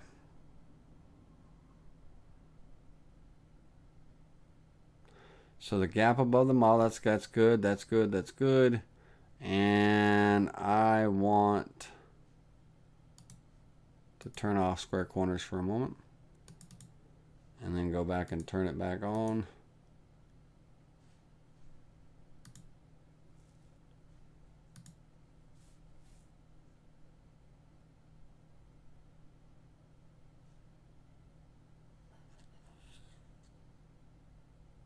Hmm. Wonder why it's giving me rounded corners. I want square corners. I'll have to uh, figure that out. But I'm gonna have to if that's gonna if that's what it's gonna do for me. Then I've got these little lip areas right here that I want to clean up.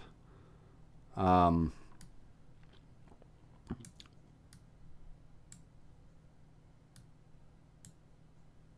And would I knock those down? Bear with me a second. Would I knock that down with an end mill? Very kissily kiss that edge right there.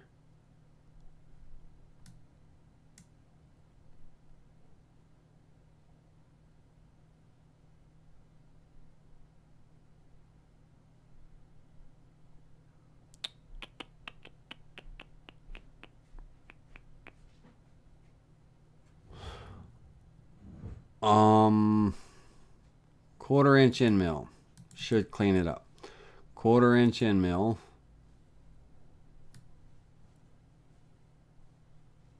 Ball nose, ball nose. I'm just instead of using the eighth inch end mill to um,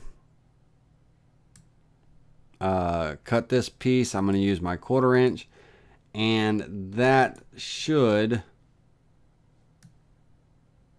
well, there's the square corners now, you son of a gun.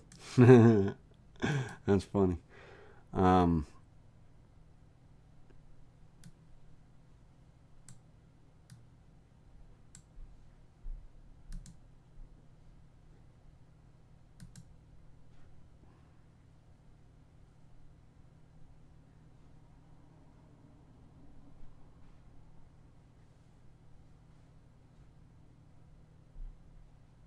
There we go. That's what I was looking for. I was wondering, it must have been like a little glitch. Uh, it always gets glitchy this time of night, right? Um, so this is going to be my lid, making sure that my piece is three quarters of an inch thick, which it's not. I thought it looked very thick, right? It looks fat. Uh, this needs to be 7.5. Click OK. This will look more appropriate now. Uh, it was looking a little fat on that back end. Baby got back on that board.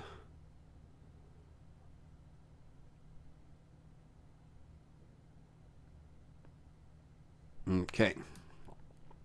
So, um, this would be my lid for my box.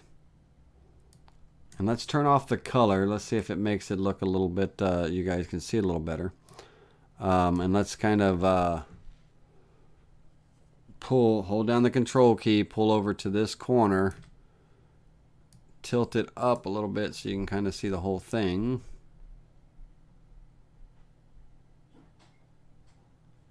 And so uh, this would be this would be the lid of my pattern. And uh, if you like the way this lid looks, uh, and you want me to include uh, these two vectors, you know, which I would anyway when I when I provide the pro the, the files for this, um, you know, just remember if you do use them, the big profile is for the outside, the little profiles for the inside. Okay, uh, swept profiles and things. Just keep that in mind. Um, and so this lid will get sealed and glued on top of the uh, box and finish it off. Um, and back to our box. Now, as far as the sides go, uh, guys, unless you're doing uh, any um, decorative design, you know, floral design, because you can really texture this thing up. I mean, you could really go all the way around and get, you could be very uh, uh, plain with your design, or you could be very eccentric, or you could be, you know, what have you, uh, subtle, should I say? Um, and uh, for me, it would be uh, something, uh, you know, pretty much subtle. Uh, if anything, if I were to do anything in the back, it would be uh, something like, you know, some kind of pet poem or something, you know, that really resonated with me and my dog, what have you. But as far as the sides, they're just straight sides. I'm not putting any decoration or anything on them. So I would just, I would cut and miter them, uh, you know, on my table saw. There's no need to bring them over to the CNC. You could, you could bring them over to the CNC and profile cut those squares out. Absolutely. Nobody's saying you can't. But, um, you know, or you could, if you were doing a longer board and doing all four parts, then of course you're going to cut them out, you know, all at one time. But right now I'm uh, doing the inlay. Now, as far as the bottom, it's just going to be a square base. I may, I may, me personally, I may go in uh, to a design like this and I want my base to not be flush with the box. I want it to have a little bit of a pedestal around the box. Like if this is my box's pink line, then I would want my base coming out just a little bit beyond it like this. And if so, then I could create a nice little ogee or curve or some kind of profile uh, so that my base has a little bit of a detail to it rather than being just a square block. I could round over the edges, you know, with a round over, whatever you want your base to look like. Um, you can be, you know, uh, you can make it look any way you want. Um, I will uh, create this um, urn for you guys. I will literally carve it and create it uh, with the inlay and I will take photos of the you know the inlay pieces so you can see the T inlay and how it fits in and stuff. Um, and um, you know just to show you how it comes together. Uh, and uh, I'll do that. I've got I've got to shoot some videos this week anyways for y'all so I'll make that one of the videos. Um, I got a probing video I got to finish up tonight after I do JB's carvings. But this would be your lid. And you have two tool paths uh, uh, using different bits. Now that we have the square toolpath uh, working properly, the square edges, I'm gonna because I want to do this all in one bit, you know, without having to do a bit change. So I'm gonna come back in and change this back to my tapered ball nose uh, bit.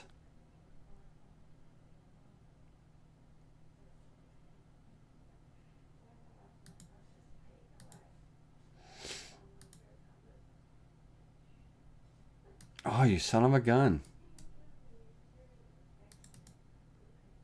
Look at that thing. It went right back to those round corners. So I may have to use my quarter inch ball nose. Uh, it may it may do that because of just the way um, that is. So okay, I'll have to do a tool change. Um, I'll look at that a little further and uh, yeah. All right. So we'll use, I'll do the tool change. But I will carve this, I'll show you what it looks like now. And keep this in mind. I mean, look around. If we were to uh, Google image, uh, you know, pet urns, um, there are many different styles, many different designs. Uh, the last uh, thing I want to say before I say goodnight to you is uh, I want to scroll down. And if you happen to have Aspire, uh, this nice curved uh, body style, okay, with a decorative lid, is uh, very elegant. And if you happen to have Aspire, um, however long your board is, uh, let's say that my board was 8 inches by um, and actually I'm going to do I'll try to do all four sides whenever I can. So 8 times 4 is 32 by uh, 5.5 I am going to take a line. I'm in Inspired now just to show to demonstrate a uh, option here. I'm going to uh, take a line and draw it from that edge to that edge down here at this end, I'm going to draw another line from that corner to that corner. And I'm going to draw a, rectangle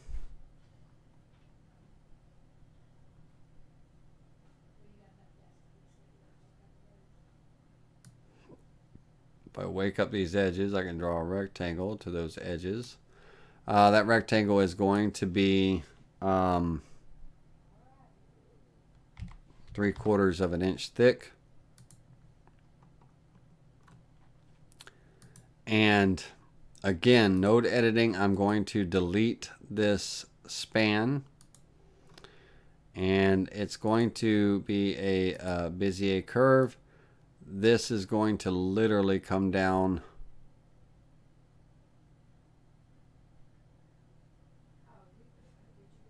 pretty close to the bottom. I want to make sure that I'm not right at the bottom.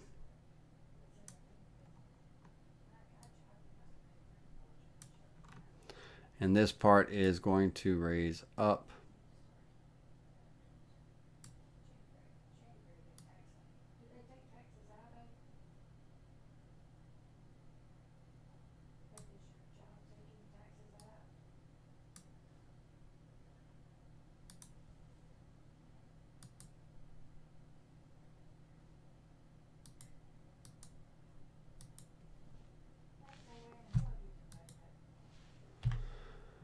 Language, Mary Beth.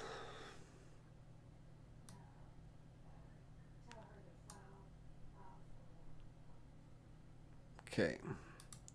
Now, if I take that profile and I go into the modeling tools two rail sweep of um, the uh, Aspire, I can use the two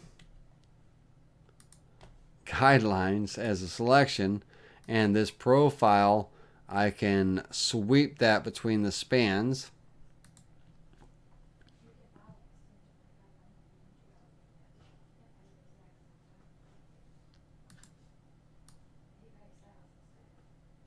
Oh, you son of a gun.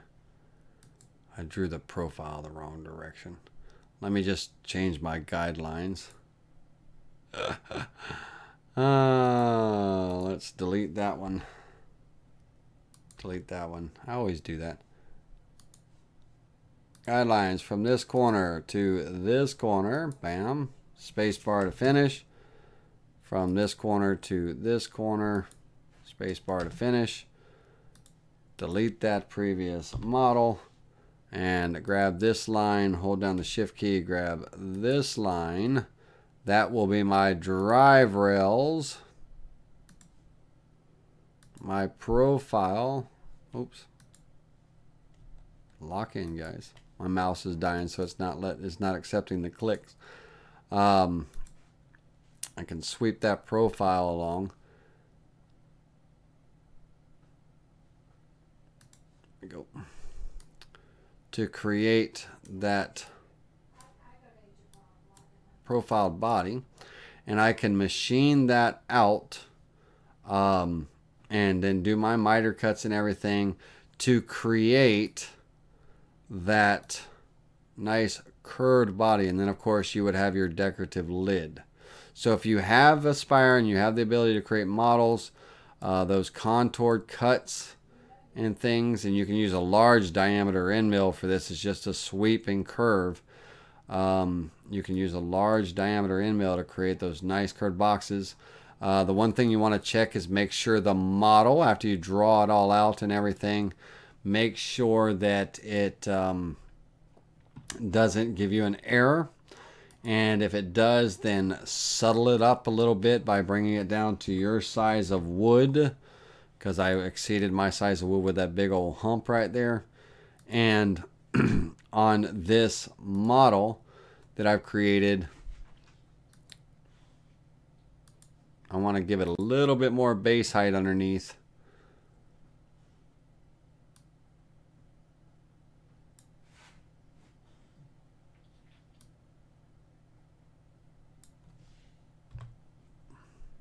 Not 0.25, landing 25.25. Um, a little bit of base height underneath. And my shape height, if I'm doing this, I need a one inch board. Well, I'm going to reduce my shape height. Ah.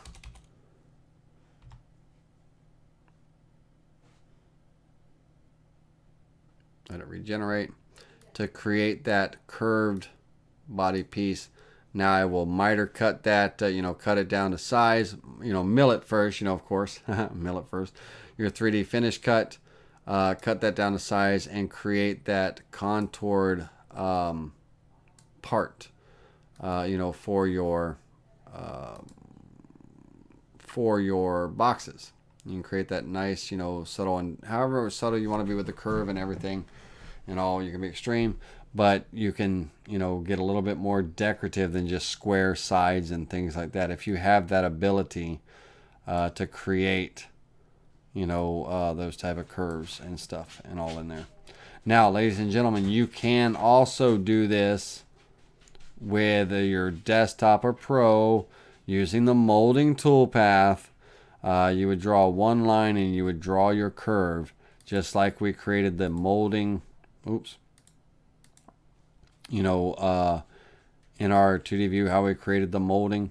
We had our boxes were what we were framing. Well in that case on that long linear piece we would draw a line we would create our curve and we could still use that molding toolpath to create that curved part um, just keep that in mind. Um, how it grows. What you just saw me do in Aspire, uh, the two rail sweep method cannot be done in Desktop or Pro. That is a feature of uh, Aspire for those individuals. Uh, we do have uh, customers that have Aspire, so I have to, you know, showing them. And I, I mentioned that uh, at the beginning of the video that I was going to be showing that. But this absolutely can be done in Pro or Desktop. Um, let's uh, demonstrate it real quick so you can see that I'm not fibbing you. It can be done. All right, we're going to create another file. Uh, I'll go 24 by 5.5 by 3 quarters.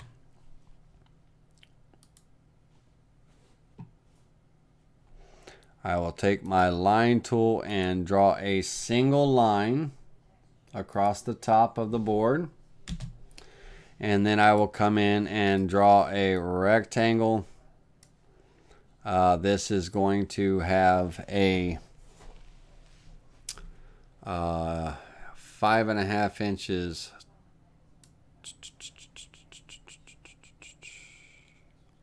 width of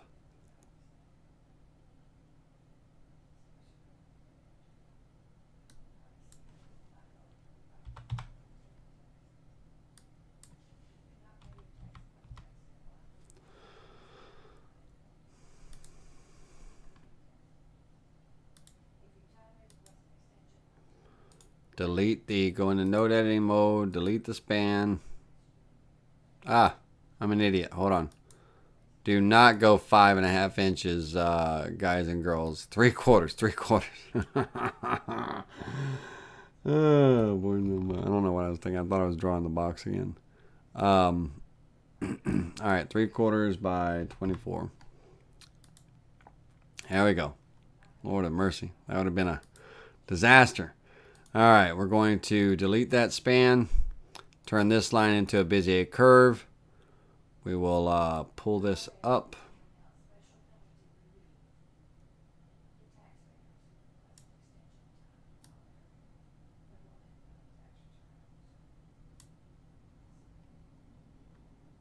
Whatever that arc is going to be. In the molding toolpath, um, we're going to select our line, hold down our shift key and select our piece. Now, that is running 24 inches that way, not along the length, right? We don't want that. Um, I want, if that's the case, then this only needs to be five and a half, this profile here only needs to be five and a half inches wide, not 32 or not 24 like I have. So let me resize this uh, to um, let me close this tool so I can work with one tool at a time. This only needs to be five and a half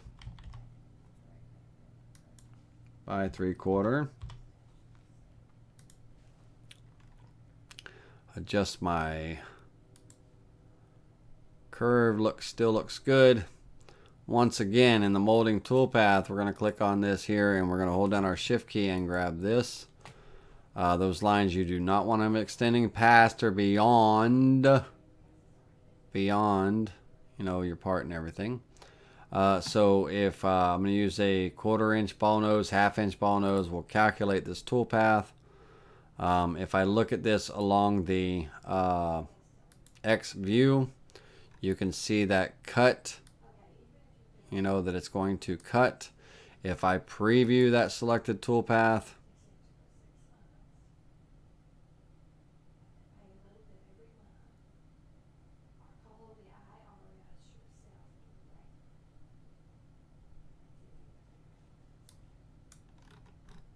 turn the color off. Um, so again, now this is in Pro or Desktop with the molding toolpath. You can acquire, accomplish the same thing. Okay.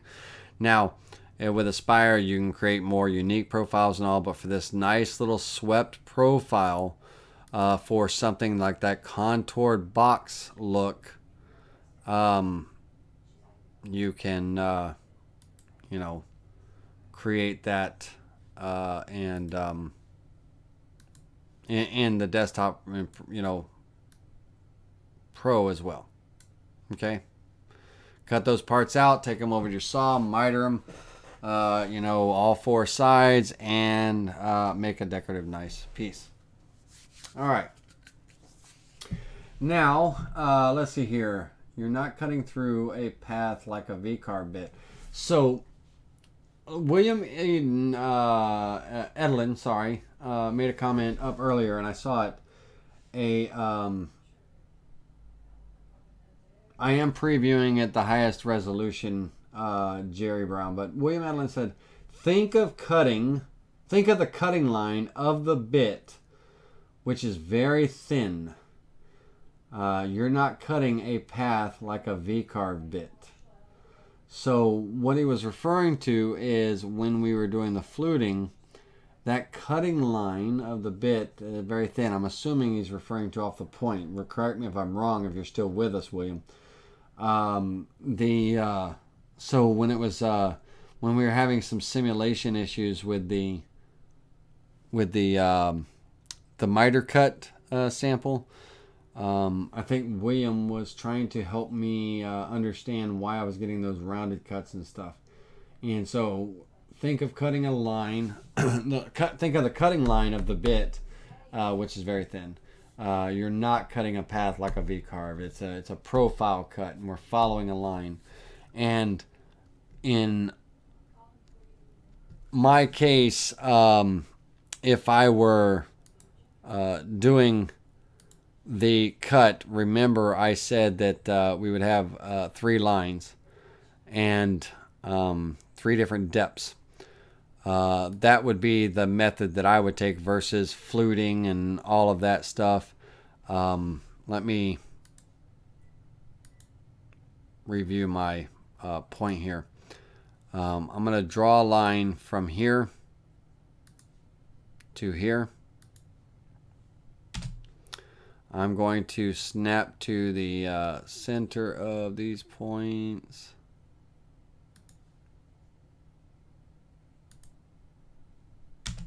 And my third line will be from here to here.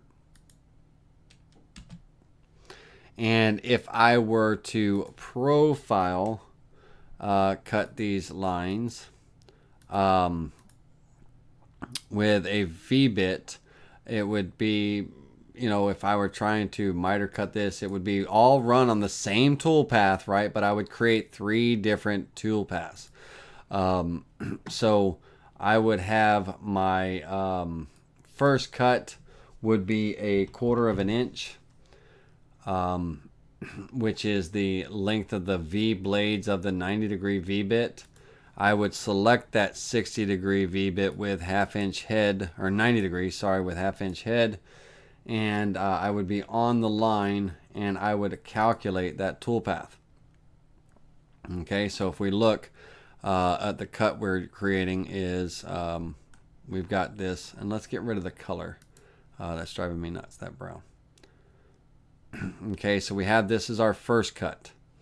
Now on the second line, I would create the profile cut, uh, this time um, stepping down starting at a quarter of an inch, even a little less, you know, but I'll start at a quarter of an inch, and cutting to a quarter of an inch on the line. Calculate that toolpath. And um, notice where my V is ended. So my line is starting over here. I would really much prefer my line be here and all, but let's preview this cut and see if I went too far apart. So let's preview this cut.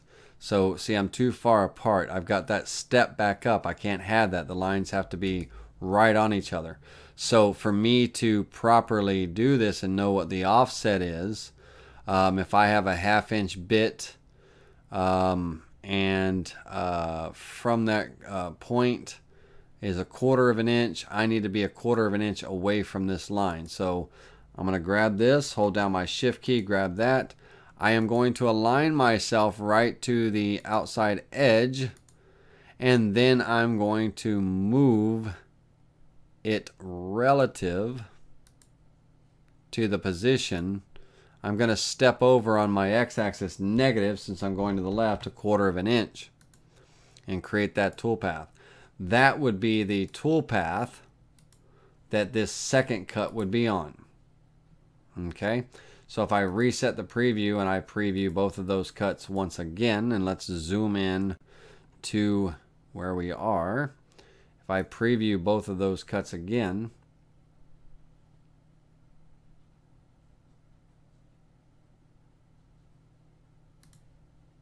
first one first. Okay, now my third and final cut would be stepped over. I'm going to offset it. I'm going to offset it uh, another quarter of an inch over. Offset, oops, wrong way. Offset outward a quarter of an inch. And that third cut, that third cut would be another profile toolpath this time starting at a half inch down, cutting down an additional quarter of an inch for my total of a three quarter inch cut. I would calculate that toolpath and I would preview that toolpath and it would do my final cut, creating my full miter cut uh, all the way through. Um, if I wanted to go a little bit, little bit, a little bit further, let's go 0.26. 0.26 and calculate that tool toolpath so it cuts all the way through. Um,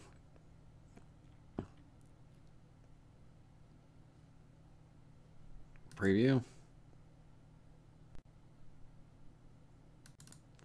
I have to be careful with that cutting through because it creates a witness line right there and I don't want that witness line. What that witness line is, is my straight edge of my bit. But if I stay at three quarters, it's going to cut through my board. I don't need to go that 0.76, uh, but that's going to give me a nice clean miter. That's what I was referring to when I said three lines and you'd have to step over when I actually drew the bit and I was simulating that to uh, Dennis uh, earlier uh, when he was asking.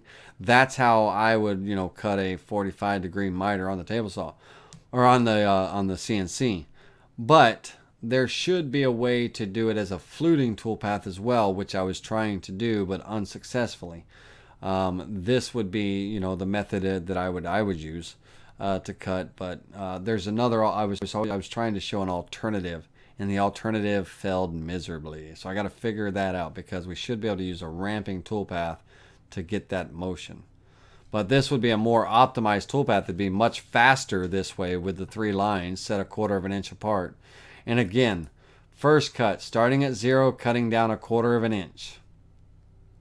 Second cut, starting at a quarter of an inch, cutting down another quarter of an inch, getting me to half inch now. Third cut, starting at a half inch and cutting down another 0.25. We don't need to go beyond. Uh, you know, will, uh, you know, give me that final cut to create that nice miter. Okay. All right. Okay, so um, so William Edlin, I think you know, I think he was thinking the same thing. Think of the cutting line. It's not like cutting a V-carve toolpath. It's a profile cut, and we're following the line. And I think he was trying to help me explain it Uh, but I I admit I didn't go I didn't see his comment until earlier till just now. So just coming back here. Um, is this going to be uh, uploaded for later viewing? Absolutely, Fred. All of our videos are recorded and they're uploaded the minute the class ends. And this class needs to end. We're at 11 o'clock now. This class has to absolutely end. We're way beyond uh, the three hour mark, and none of y'all are probably watching right now. Um, uh, uh, Jared uh, Ripperda said, uh, You have a square corner uh, on the inside cut. Right, exactly. I have a square corner on the inside cut, but not on the outside cut for that one. Uh, but for some reason, using my uh, larger diameter bit, uh, changed the toolpath. I'm going to have to look into that and see why it was. Um, and uh, Wayne, on the base, could you have a pocket cut so that the box can sit in it? Sure, Wayne, absolutely. You can you can create a nice profile and you can do a pocket cut so the box sits down right in it and you uh, seal it, glue it shut, or what have you. Um, I like my box sitting on the base because the base gets screwed in to the bottom. Uh, and you typically mount or load the um, remains from the bottom of the box and um, uh, you silicone it and screw it closed so it, it's never to be reopened again of course um, and, and sealed and all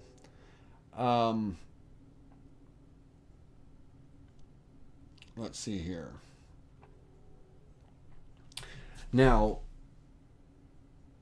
okay, so William, okay, William, great job. He's holding it. So hold the bit in your hand and spin it. So if you travel up and down, you cut the point line. See, he's exactly right. I think William, you're kind of you're that's that's exactly what we're uh, demonstrating here with these three lines, right? That's what you're you're just you're just reiterating that, correct? Because if I do hold that bit and spin it in my hand, you see that cut line, that 45 degree. So I would want to cut vertically along the board versus those horizontal, uh, you know, little slots, those little lines I was trying to do. Um, but ramping, the ramping toolpath doesn't do vertical cutting. It only does horizontal ramping, uh, you know, um, for the most part. So I had to change my vectors and all. But this is a more optimized way to do it anyway with the three lines a quarter inch apart different depths. Now all three of these tool paths, when saved, all three of these tool paths would be, uh, when you save them, you would output them as one file. So it'll run as one file, not three separate files. Um, and, uh, you know, when you save them. So you only have one toolpath that you're running. And you would do all your miters. This first line on every each end of the board or each end of the piece on all four pieces you would create that first profile cut for all of them. So that router would go zoom over to the next line zoom zoom zoom zoom zoom you know on all four lines all four sides of the board you know because there's four spots that need to get this miter cut.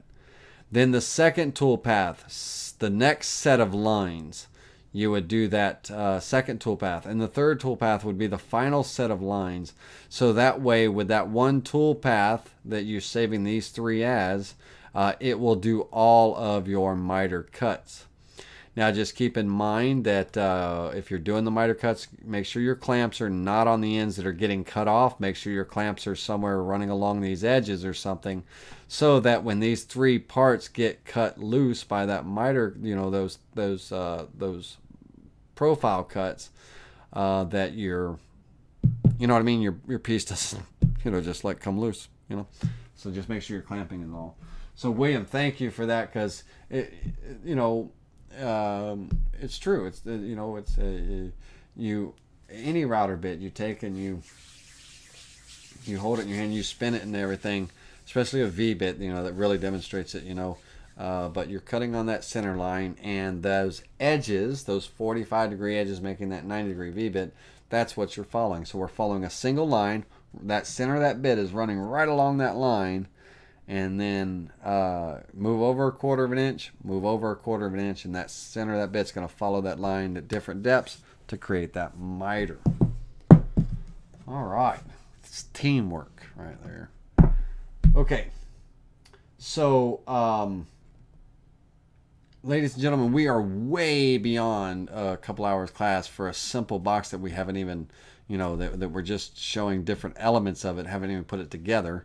Uh, I will create the entire project, both the front, the back, the side pieces, the top and the bottom. Uh, and uh, I will post those in the Facebook group, uh, Digital Woodcarver Owners Facebook group. I will, uh, before I paste, post them in the Facebook group, I will cut this part. Um, uh, I love making boxes and stuff, so I will cut this piece and uh, with the inlay and everything uh, to show what it would look like so I can take photos, actual realistic photos of this image. And um, I uh, might even do a little um, little step-by-step PDF or something. But uh, um, but this one will be posted shortly. Uh, give me a chance to shoot that video either tonight or tomorrow. Uh, I'll get out there and cut. I got nothing better to do.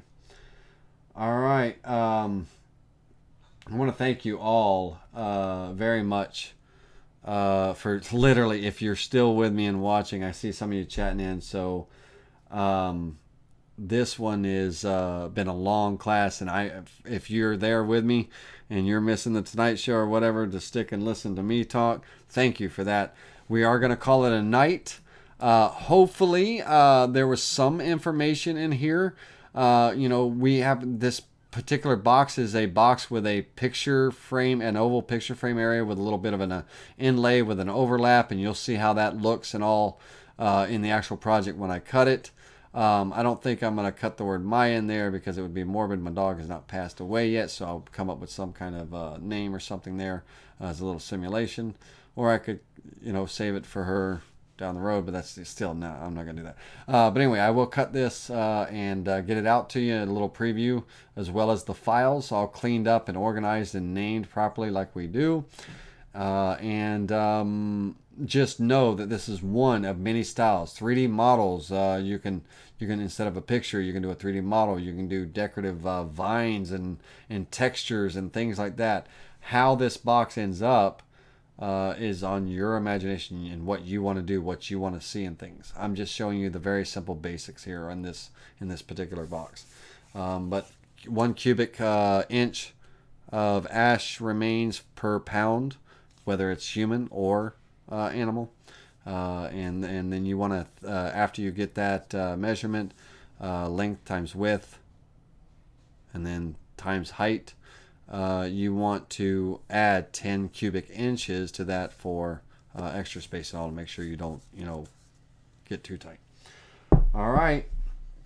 Fido, there you go. I'll use Fido or something, you know, absolutely instead of Maya. But uh, uh, you guys have been wonderful sticking in, man. You're troopers and all. I'm going to say goodnight. I've said it a hundred times, but this time I really mean it. Have a great night, and uh, until next time, I'll see you soon. Remember, uh, Wednesday, we're going to be visiting uh, the revisiting the TNG. Uh, this time it's going to be a little bit more organized and a little bit more detail. We're not going to focus on one thing like buttons and all. I'm going to show you how to make them now that I know how to make them. But I want to talk about uh, some of the new features because there is a new uh, update uh, available if somebody wanted to move over or download to that. Uh, that latest update, 0.04. Uh, they, they added some new tools and stuff. So all of that we're going to review on Wednesday. And um, I don't know what we're doing next week. I got to think of it. Have a great night, guys and girls. Goodbye.